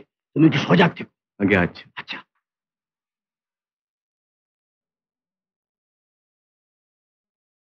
নে এগুলো পর। কেন? বাহ অমন করে চুল বাঁধলাম কেন? এগুলো পরবি বলেই তো। মা ভর দুপুরে সেই দিকে কি করব? আমি দেখব। শৈলীদি খুড়ুমশাই খুড়িমা সবাই কি ভাববে? আহ আচ্ছা ঝামেলায় পড়া গেল তো। বাবা মা কেউ বাড়ি নেই।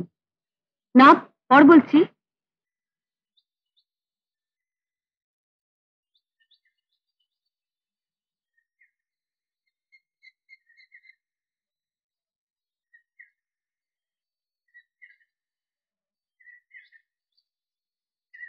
আহা কি দেখাচ্ছে দেখ। রমেশ বাবু দেখলে না দিন রাত্রি বিভ্রম হয়ে যাবে। যাও। দাঁড়া ওই আসছে উমির বাবা। আচ্ছা শৈলতি তুমি বিপিন বাবুর পায়ের আওয়াজ কি করে বুঝতে পারো? তুমিও পারো দিদি। বসো আমি উমিকে ঘুম পাড়িয়ে এক্ষুনি আসছি শৈলতি উনিকে না বিপিন বাবুকে?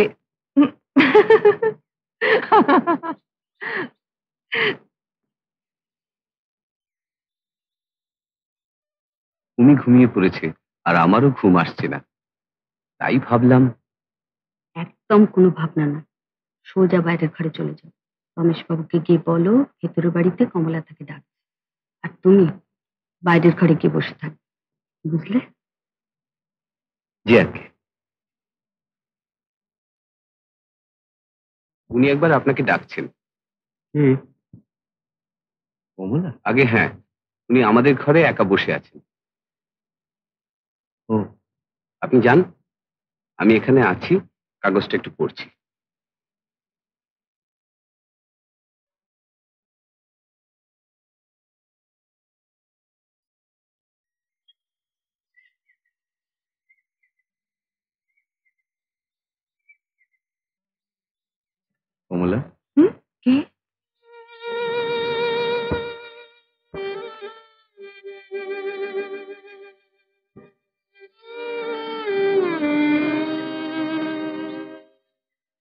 ডেকেছো না না। আমি তোমায় ডাকিনি আমি তোমায় ডাকতে যাব কেন? ডাকলি বা দোষ কি? না আমি ডাকিনি তাই বলে মুখ ফিরিয়ে থাকবে? তুমি এখানে এসেছ জানলে বাড়ির সবাই কি ভাববে। তুমি যাও। তোমার কি আমাকে কিছু বলার ছিল?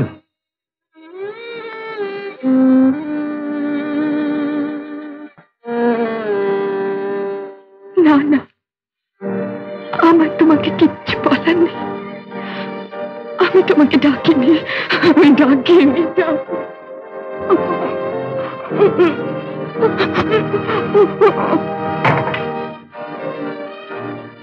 সব ব্যবস্থা করে এলাম। গঙ্গার ধারে একটা পুরনো সাহেবই বাংলো।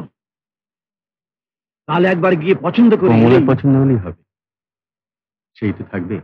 হ্যাঁ ঠিক কথা ঠিক কথা। গৃহিণীর গৃহ হ্যাঁ। ঠিক কথা বলেছে। বাবাজি কিন্তু বাড়িটাকে একটু সারাই করতে হবে। কারণ পুরনো বাড়ি তো একটু নতুন না করলে নতুন সংসারে মন বসবে কেন? তাই বলছিলাম যে এই কটা দিন কষ্ট করে আমি বরং কলকাতায় ঘুরে আসব। তা খুব ভালো কথা। এখানেই যখন স্থায়ীভাবে ঘর বাঁধা স্থির হলো তখন ও কলকাতার পাড় চুকিয়ে দেওয়াই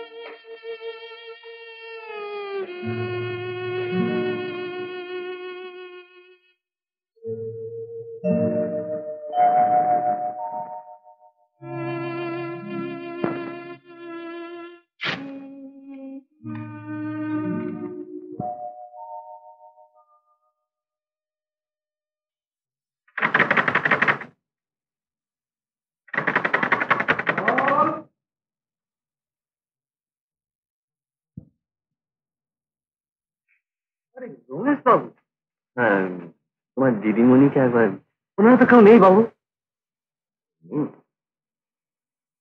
আচ্ছা তাহলে তোমার দিদিমণি ফিরে এলে এই চিঠিটা তুমি ওকে দিও। কবে ফিরবেন? তার কি কিছু ঠিক আছে বাবু?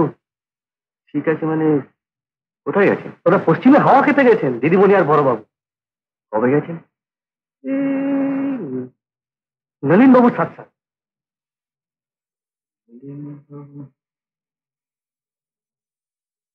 নলিনবাবুটিকে? সে আপনার মতন একজন বাবু আছে। বহুত সুন্দর, বহুত লেখাপড়া জানে টাকা পয়সা বি বহুত আছে। দিদিমণির সাথে ভাবতাপ হলো একসাথে খানা, পিনা বাইকনা তারপর পশ্চিমে বেড়াতে চলে গেল।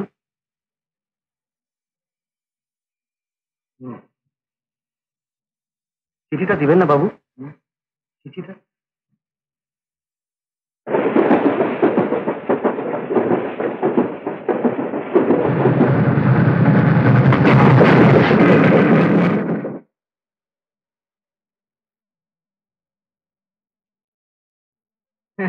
কোন ট্রেনে এলে বাবাজি? এই মেল ট্রেনই এলাম। ও আচ্ছা বেশ বেশ। কি? আমরা কি বাড়িতে চলে এসেছি নাকি? মানে? উম, না ওই মায়ের বড় ইচ্ছে যে একটা শুভ দিন দেখে বাড়িতে আসেন।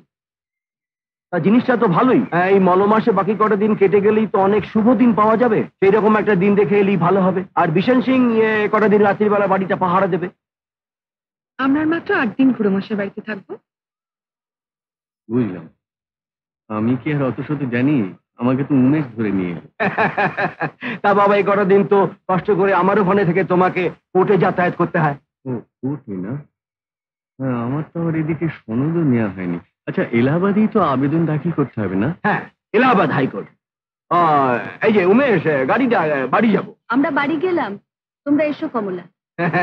এসো এসো হ্যাঁ চল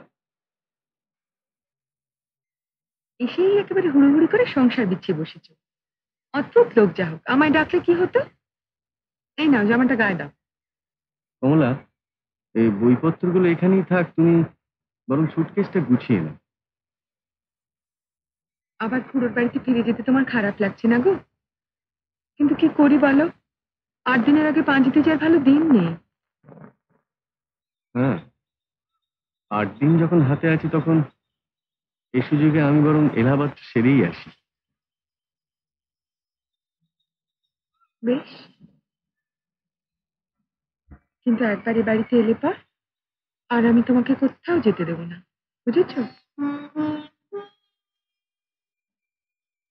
আচ্ছা।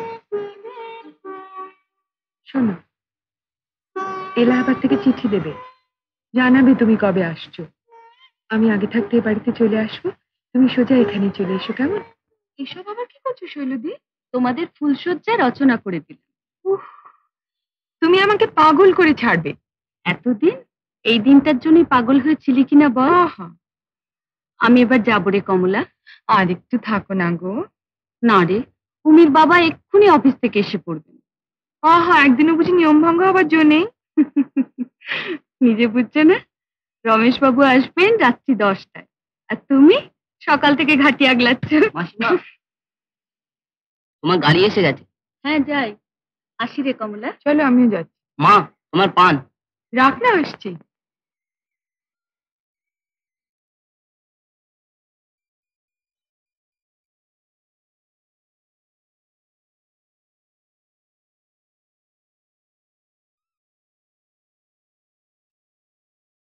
ও বাবা বিশেন সিং। একটু ভালো করে পাহারা দিস বাবা। कुछ डर मत करो मौसी हम नींद में भी पहरा देते हैं হয়েছে তো এবার? ও মা, বলে কি গো শুনেছিস তো কমলা তুই বাপু একটু বুঝে সুঝে দরজাটা খুলিস দেখিস রাতের বেলা রমেশ বাবুকে দেখলে আবার চিনতে পারবি তো যা। যাচ্ছি রে বাবা যাচ্ছি কাল ভোরেই আবার আসবো সব শুনবো চলো হে চলো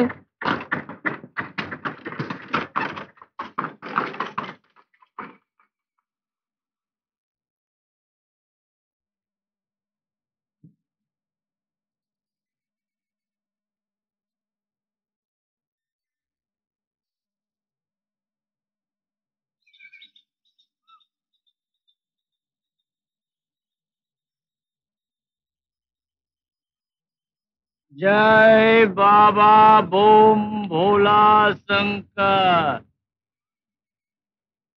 মা হ্যাঁ কি বাবু আজই আসবে হুম রাত দশটায় শুনেছিস তো সবই ব্যাপারটা কি বলতো না ওই ওই ওই ওই ওই কি সিধু বাবু হুম সিধু বাবুদের বাড়িতে না যাত্রা হবে যাত্রা হবে যাব মা। খুব পেকেছো যাত্রা হবে যাব মা। আচ্ছা যা। এক্ষুনি যাবি না না না একটু পরে। তোমাকে আমি বলে যাব। এই শোন পানটা কোথায় রাখলি রে? ওই যে কাগজে মোড়া।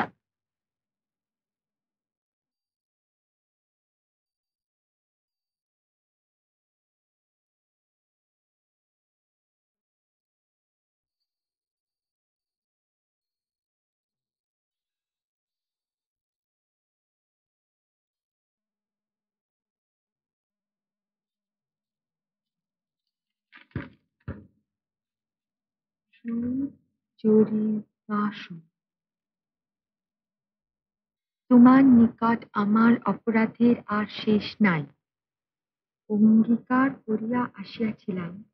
এক সপ্তাহ পরে ফিরিয়া গিয়া তোমাকে আমাদের বিবাহের দিন পিছাইয়া দিবার কারণ বলিব।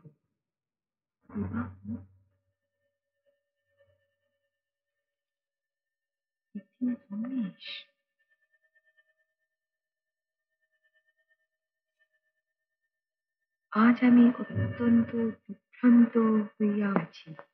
কেননা, মেয়েটিকে কোথায় রাখিব, কি করিব কিছুই বুঝিয়া উঠিতে পারিতেছি না।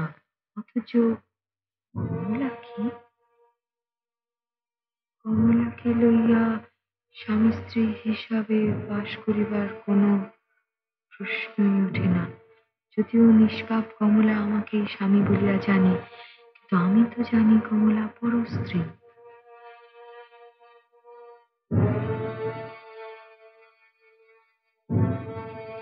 কমলা স্বামীর নাম নলিনাক্ষ চট্টোপাধ্যায়। দেশ রংপুর পেশা ডাক্তারি। পরদিন নববধূকে লইয়া সব গ্রামে ফিরিবার সময় লোকজন সহ নৌকা নৌকাডুবি হয়। গ্রামে ফিরিয়া জানিতে পারিলাম যাহাকে আমার স্ত্রী বলিয়া ঘরে আনিয়াছি সে আমার স্ত্রী সুশীলা নহে। তোমার নিজের নামটা লেখো তো।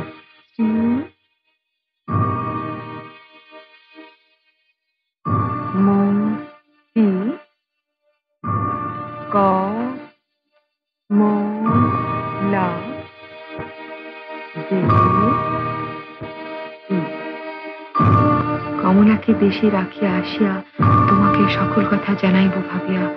যখন গোয়ালন্দ স্টিমার ঘাটে পৌঁছাইলাম, হঠাৎ দেখি অক্ষয় আমাদিগকে অনুসরণ করিতেছে। কোনো প্রকারে যদি তোমার ও আমার সম্পর্কটা কমলার নিকট অক্ষয় প্রকাশ করিয়া দেয়, সেই ভাবিয়া পশ্চিমে স্টিমারে কমলাকে লইয়া উঠিয়া পড়িলাম।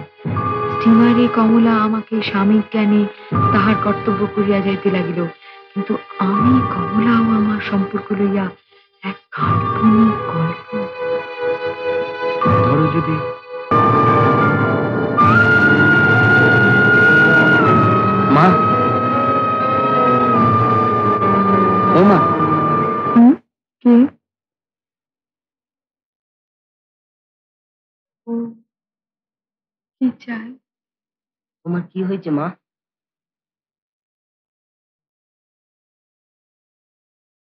তুই যাত্রা শুনতে গেলি না। যাব মা। টেবিলের উপর টাকা আছে নিয়ে যা।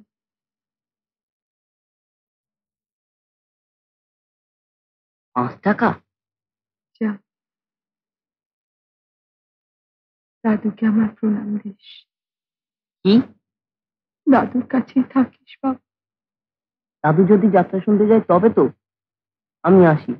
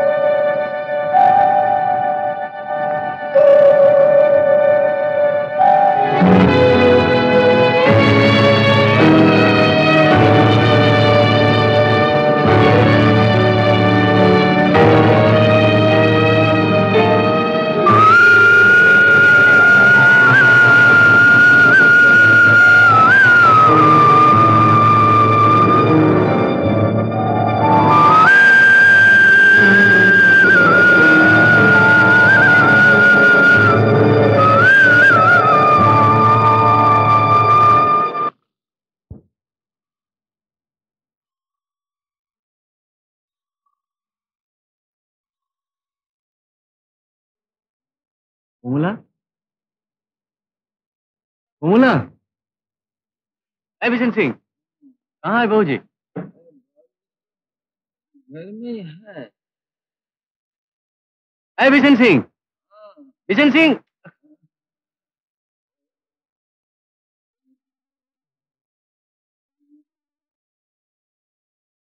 बाबूजी। कहा है बहूजी बहूजी तो रात में अंदर ही थी।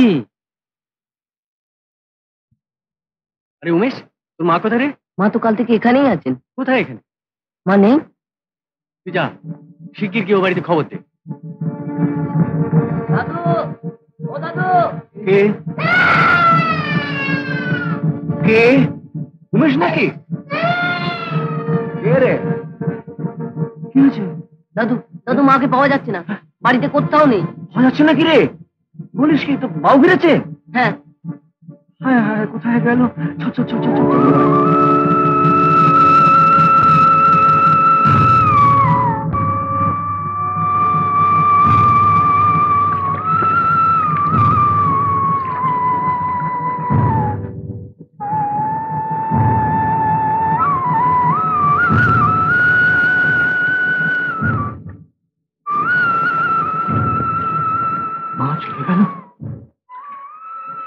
আত্মহত্যা করল রমেশ বাবু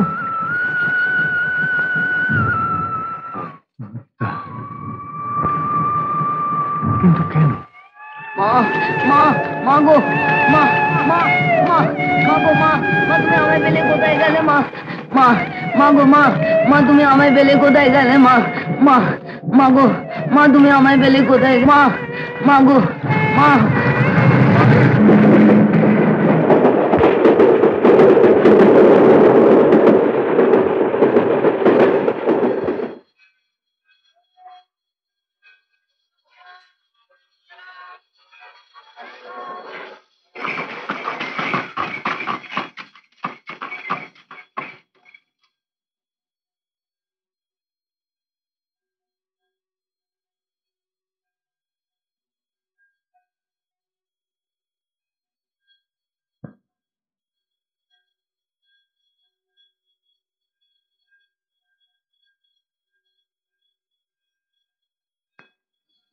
আমাদের যা পেশা সামাজিকতা একেবারে আপনি কুণ্ঠিত হবেন না নবীনবাবু।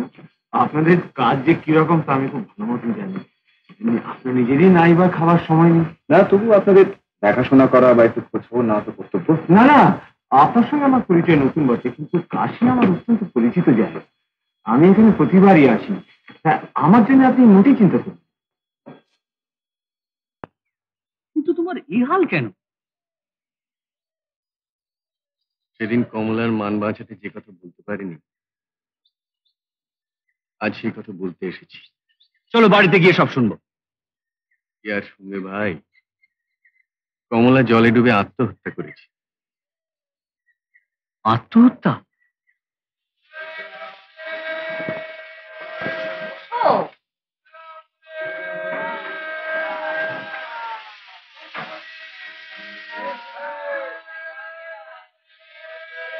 মা।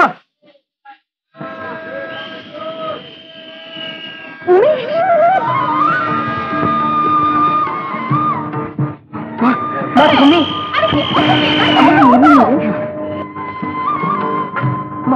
তুমি। এতদিন কোথায় ছিলে মা? মা তুমি কোথায় যাচ্ছ?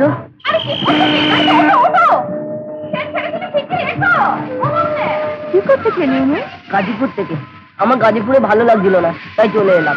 এখন কোথায় যাবি? মা আমি তোমার সঙ্গে যাব মা। আমাকে আর ফেলে যেও না আমাকে সঙ্গে নিয়ে চলো। তবে চলো আমরা কাশি যাই? তাই চলো।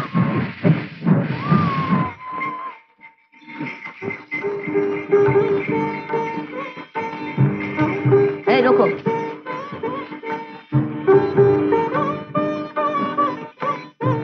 মা এখানে নাবো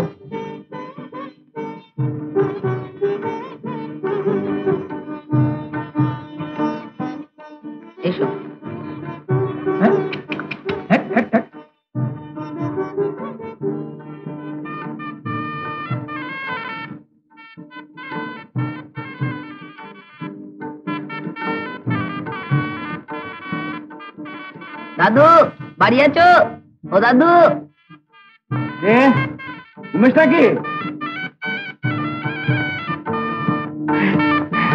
মা মা ফিরে এসেছে হ্যাঁ, থাক, থাক, থাক, মা, থাক, থাক, থাক, মা, থাক। মা মা, এসে এসে- এসে মা এসে ভে- ভেতরে এসে ভেতরে এসে রহস্য দেখ এসেছে? দেখ দেখ এসেছে? শৈলা শৈলা কে এসেছে? দেখ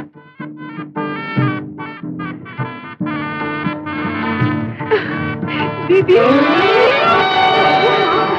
আমাদের এমন করে কাঁদিয়ে যেতে হয়। থাক থাক এখনও সমস্ত কথা থাক। আমি ওর না খাওয়ার ব্যবস্থা রমেশ বাবু কিন্তু আমার স্বামী নন। হ্যাঁ? বলিস কি কমলা?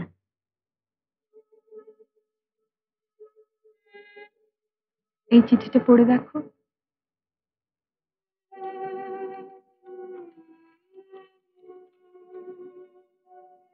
স্ত্রী? হ্যাঁ।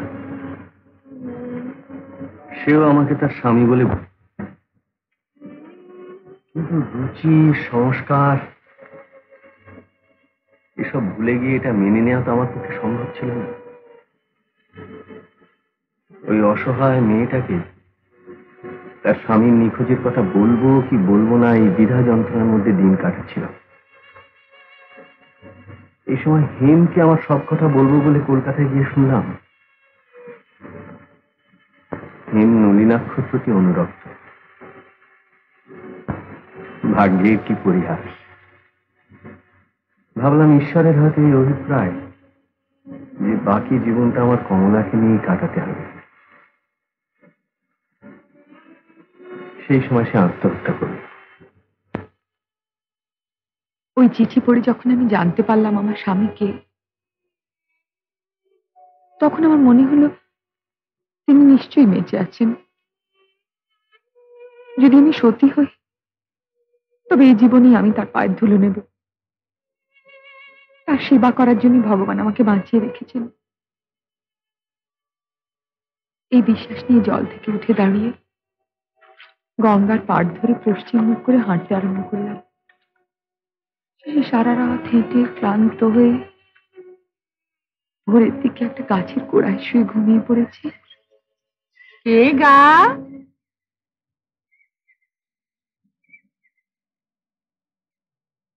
থেকে আসছো?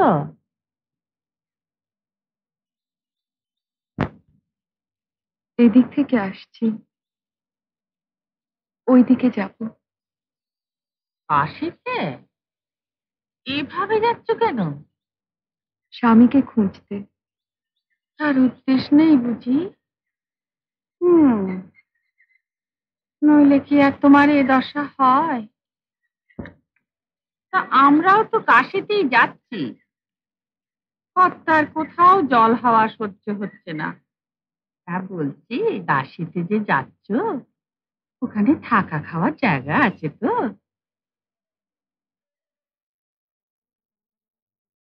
দেখি, যদি কোথাও কাজ পাই। আহা গো, কি কষ্ট কি কষ্ট। এসো বাচ্চা এসো।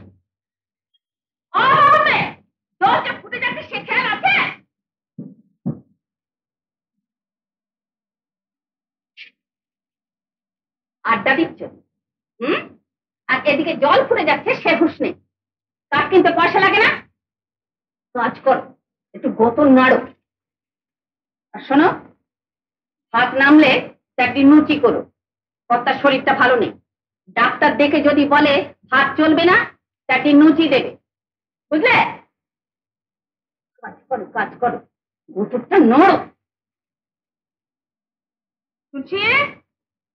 ও তুলসী!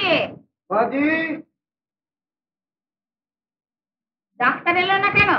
এ বেলা আসতে পারবে না? বেলায় আসবে মাজি কেন? তার প্রতি অনেক রোগী। হ্যাঁ, হ্যাঁ। আমরাও দেশে লোক নই। আমার ছেলে হাকিম। ডাকা মাত্র না এলে তার নামে মামলা করে দেবো। মামলা করবেন কেন? ডাক্তার বাবু বহুত ভালো আপনি। কি না ডাক্তারের নলিনাক্ষ চ্যাটার্জি। নলিনাক্ষ চাটুর্যে হ্যাঁ। বাঙালি ডাক্তার? ও তুলসী ডাক্তারবাবু কোথায় থাকেন? চৌষট ঘাট। দিকেই আছে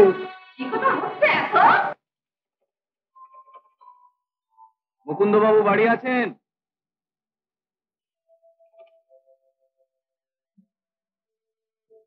অভাব নেই। দেখো সে কি গেরো। কর্তা বাড়ি নেই, একটু বেরিয়েছে, আর অমনি ডাক্তারটা এসেছে। ও বুঝছ না কি বলছি? আলোটা দেখাও, বসতে বলো। বলো, পথটা এখনই এসে পড়বে। কি হলো? যাও।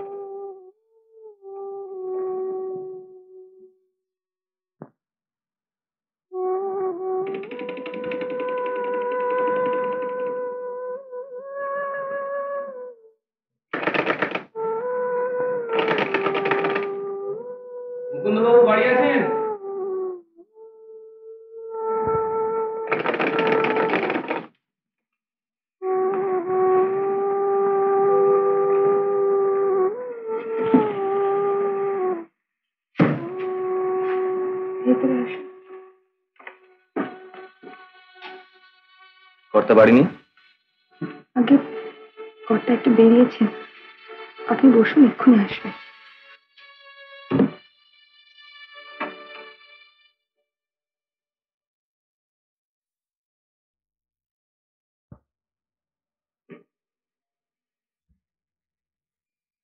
ডাক্তারবাবু নমস্কার। নমস্কার। আমি রোগী তাই ভুগছি আর এই শোভ হ্যাঁ।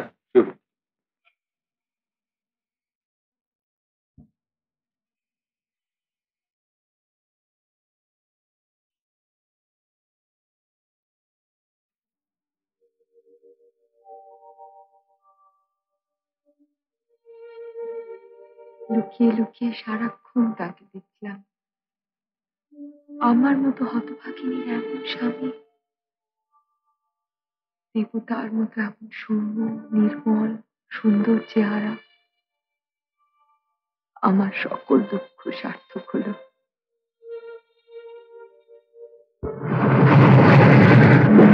পরদিনই ওরা মিরাট যাবার সময় আমাকে জোর করে নিয়ে গেল। কাশিতে কর্তার জল সহ্য হচ্ছে না।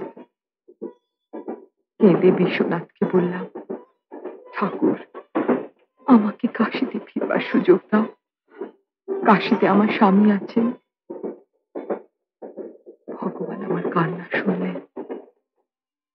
মঙ্গলসারা স্টেশনে হঠাৎ উমেশকে দেখতে পেয়ে গেলাম। তুই ভাবিস না কমলা, তুই এবার একটু শো একটু ঘুমিয়ে নে। বাবা নিশ্চয়ই একটা উপায় বের করে দেবে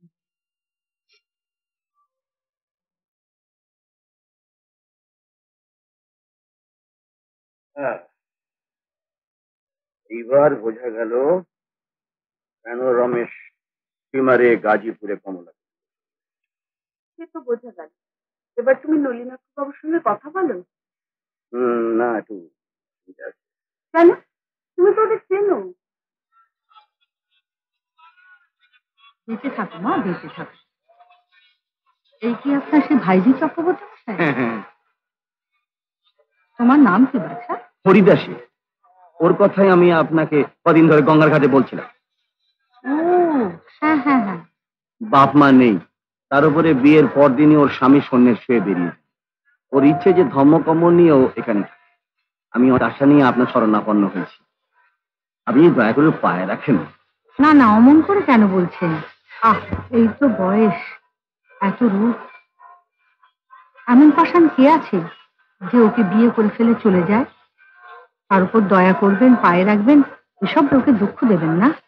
না না দুঃখ কেন? আমি তো প্রকৃত মায়ের কাছেই দেখে যাচ্ছি। হ্যাঁ তাই।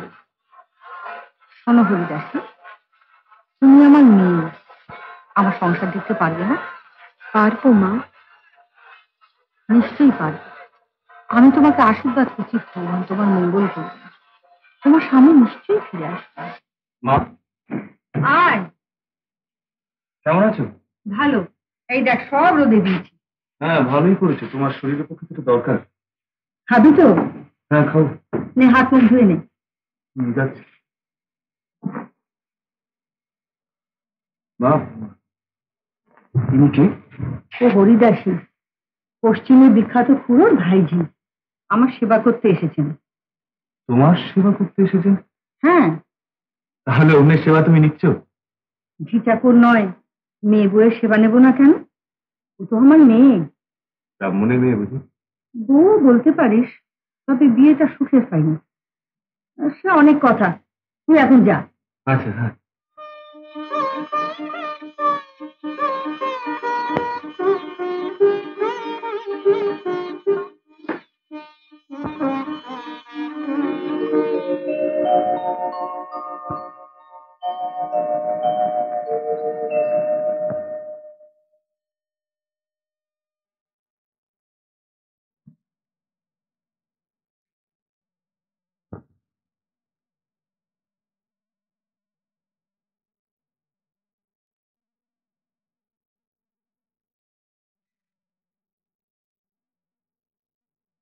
রান্না কেমন হয়েছে? ভালো ভালো। তোকে বলা না বলা একই কথা। মন দিয়ে তো খাস না। কি যে বলো মা সত্যি রান্নাটা আজকে ভালো হয়েছে। দেখছ না কত খেয়ে ফেলেছি? তা তো দেখলাম। তবে এবার থেকে রান্নার ভাতটা হরিদাসই নিতে পারবে। হ্যাঁ তাহলে তোমার খানিকটা বিশ্রাম হয়। তা তো হবেই। এমন সংসারী নিয়ে আমি কখনো দেখিনি। এমনি একটা বইয়ের কথা কতই না ভেবেছি ভগবান হরিদাসীকে পাঠিয়ে সে সাথে আমার পূর্ণ করলেন এবার তোর পছন্দ মতো একটা বউ আন কিন্তু কমলার জন্য যে আমাকে আরও কিছুদিন অপেক্ষা করতে হবে মা। সে কি বেঁচেছে? বেঁচে থাকলে ওর মামা অন্তত জানতো। সেই দুর্ঘটনার পর ওর মামাকে আমি একটা চিঠি লিখেছিলাম। উত্তরে তিনি লিখেছিলেন কমলার কোনো খোঁজ তিনি জানেন না। ওর ধারণা সে মারা গেছে। আমিও বলি বাবা যে গেছে তার কথা আর ভাবিস না। আজ জন্মে নিশ্চয়ই তুমি আমার মা তা না হলে কোথাও কিছু নেই? এমন করে তোমায় পাবো কেন, মা? আমার একটা অভ্যেস আছে। আমি কোনো বাজে লোকের সেবা সইতে পারি না। কিন্তু তুমি যখন আমার গায়ে হাত দাও, আমার গা যেন জুড়িয়ে যায়। এসো এসো হেম।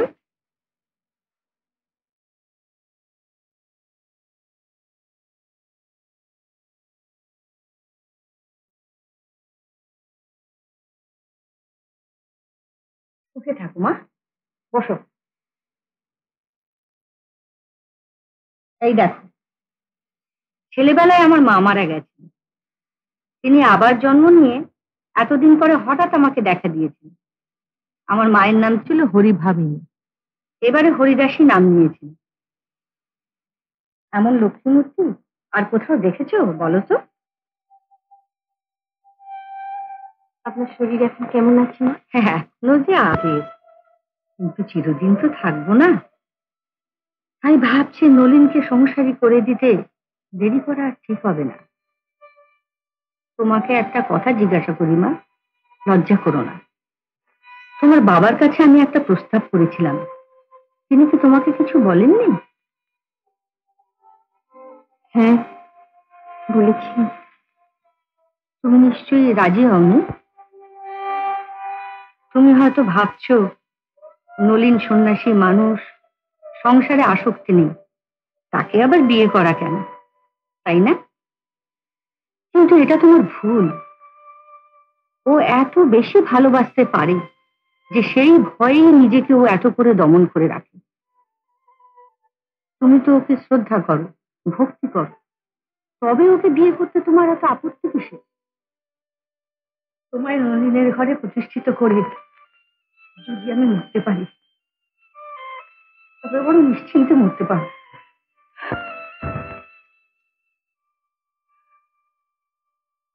হরিদাসী, এই ফুলগুলো, হরিদাসী হরিদাসী,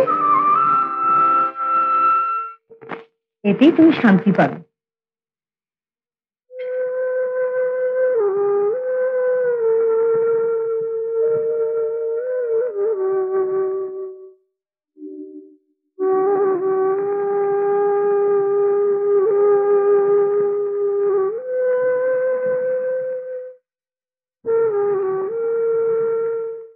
ঈশ্বরের চরণে সহস্রবার প্রণাম করিয়া নতুন কর্তব্যের জন্য প্রস্তুত হইলাম।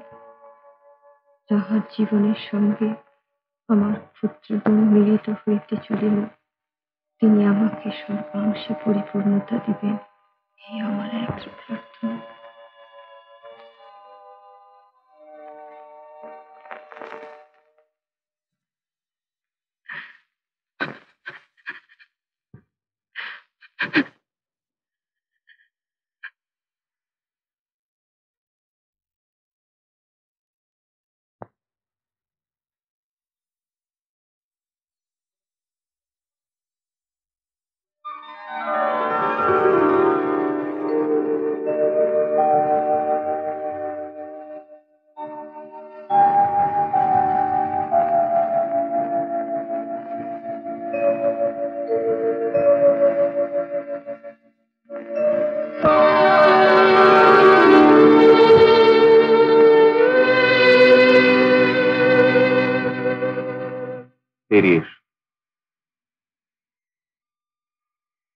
আমার কাছে তোমার কোনো লজ্জা নেই।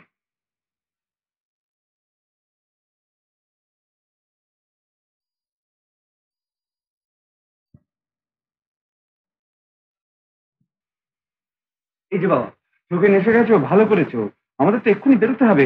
হেম যোগেন এসেছে। কোথায় যাবে? নেমন্তন্ন খেতে? কেন আমি তো সকালেই বলে গেছি আমি যাব না। তুমি রাগ করেছ দাদা? রাগ হবারই কথা। কেন? কেন মানে? রমেশকে আমি ডেকে এনেছিলাম। অথচ তুমি আর হেম সকালে যে ব্যবহারটা তার সঙ্গে করলে যে অপমান করলে? না অপমান কিছু করা হয়নি যোগেন তার জন্য আমরা কি কম অপমান সহ্য করেছি? এই অপ্রিয় প্রসঙ্গ কি কোনোদিন শেষ হবে না? আমি তো কবে শেষ করে দিয়েছি? তাই আমি শেষের জেট টানছি। মানে? দুপুরে হোটেলে গিয়ে দেখলাম রমেশ নেই। টেবিলের উপর আমার নামে একটা খোলা চিঠি রেখে গেছে। লিখেছে চললাম রমেশ। আর তোমার নামে শুভেচ্ছা লেখা এই চিঠিটা রেখে গেছে। কর্তব্যবোধে দিতে এসেছে। ধরো। তাহলে তুমি যাবে? না। সন্ধ্যের সন্ধ্যে ট্রেনে আমি আজই ফিরছি। রমেশকে বেজায় ভালো নাহলে গাজীপুর হয়ে আমি যাব।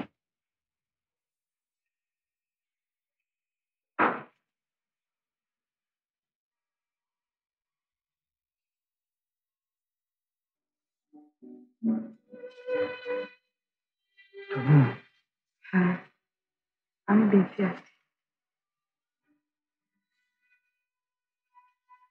তুমি সব জানো? সব জেনেছি। তাই এখনও বেঁচে আছি তোমার স্বামী বেঁচে আছে। চলো আমি নিজে গিয়ে তাকে সব বলব। আমার কথা কাউকে বলবেন না। এটুকুই আমার মিনতি। আপনার কাছে আমার কৃতজ্ঞতা শেষ নেই। আমাকে আপনি ক্ষমা করুন, আশীর্বাদ করুন, যেন নিজের কথা নিজেই বলতে পারি।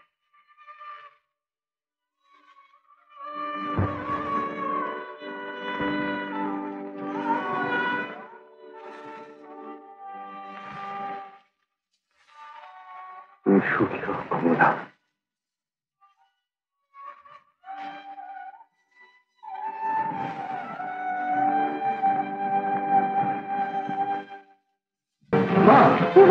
কোথায় তোমার হরিদাস? পুজোর ঘরে কেন? আসছি।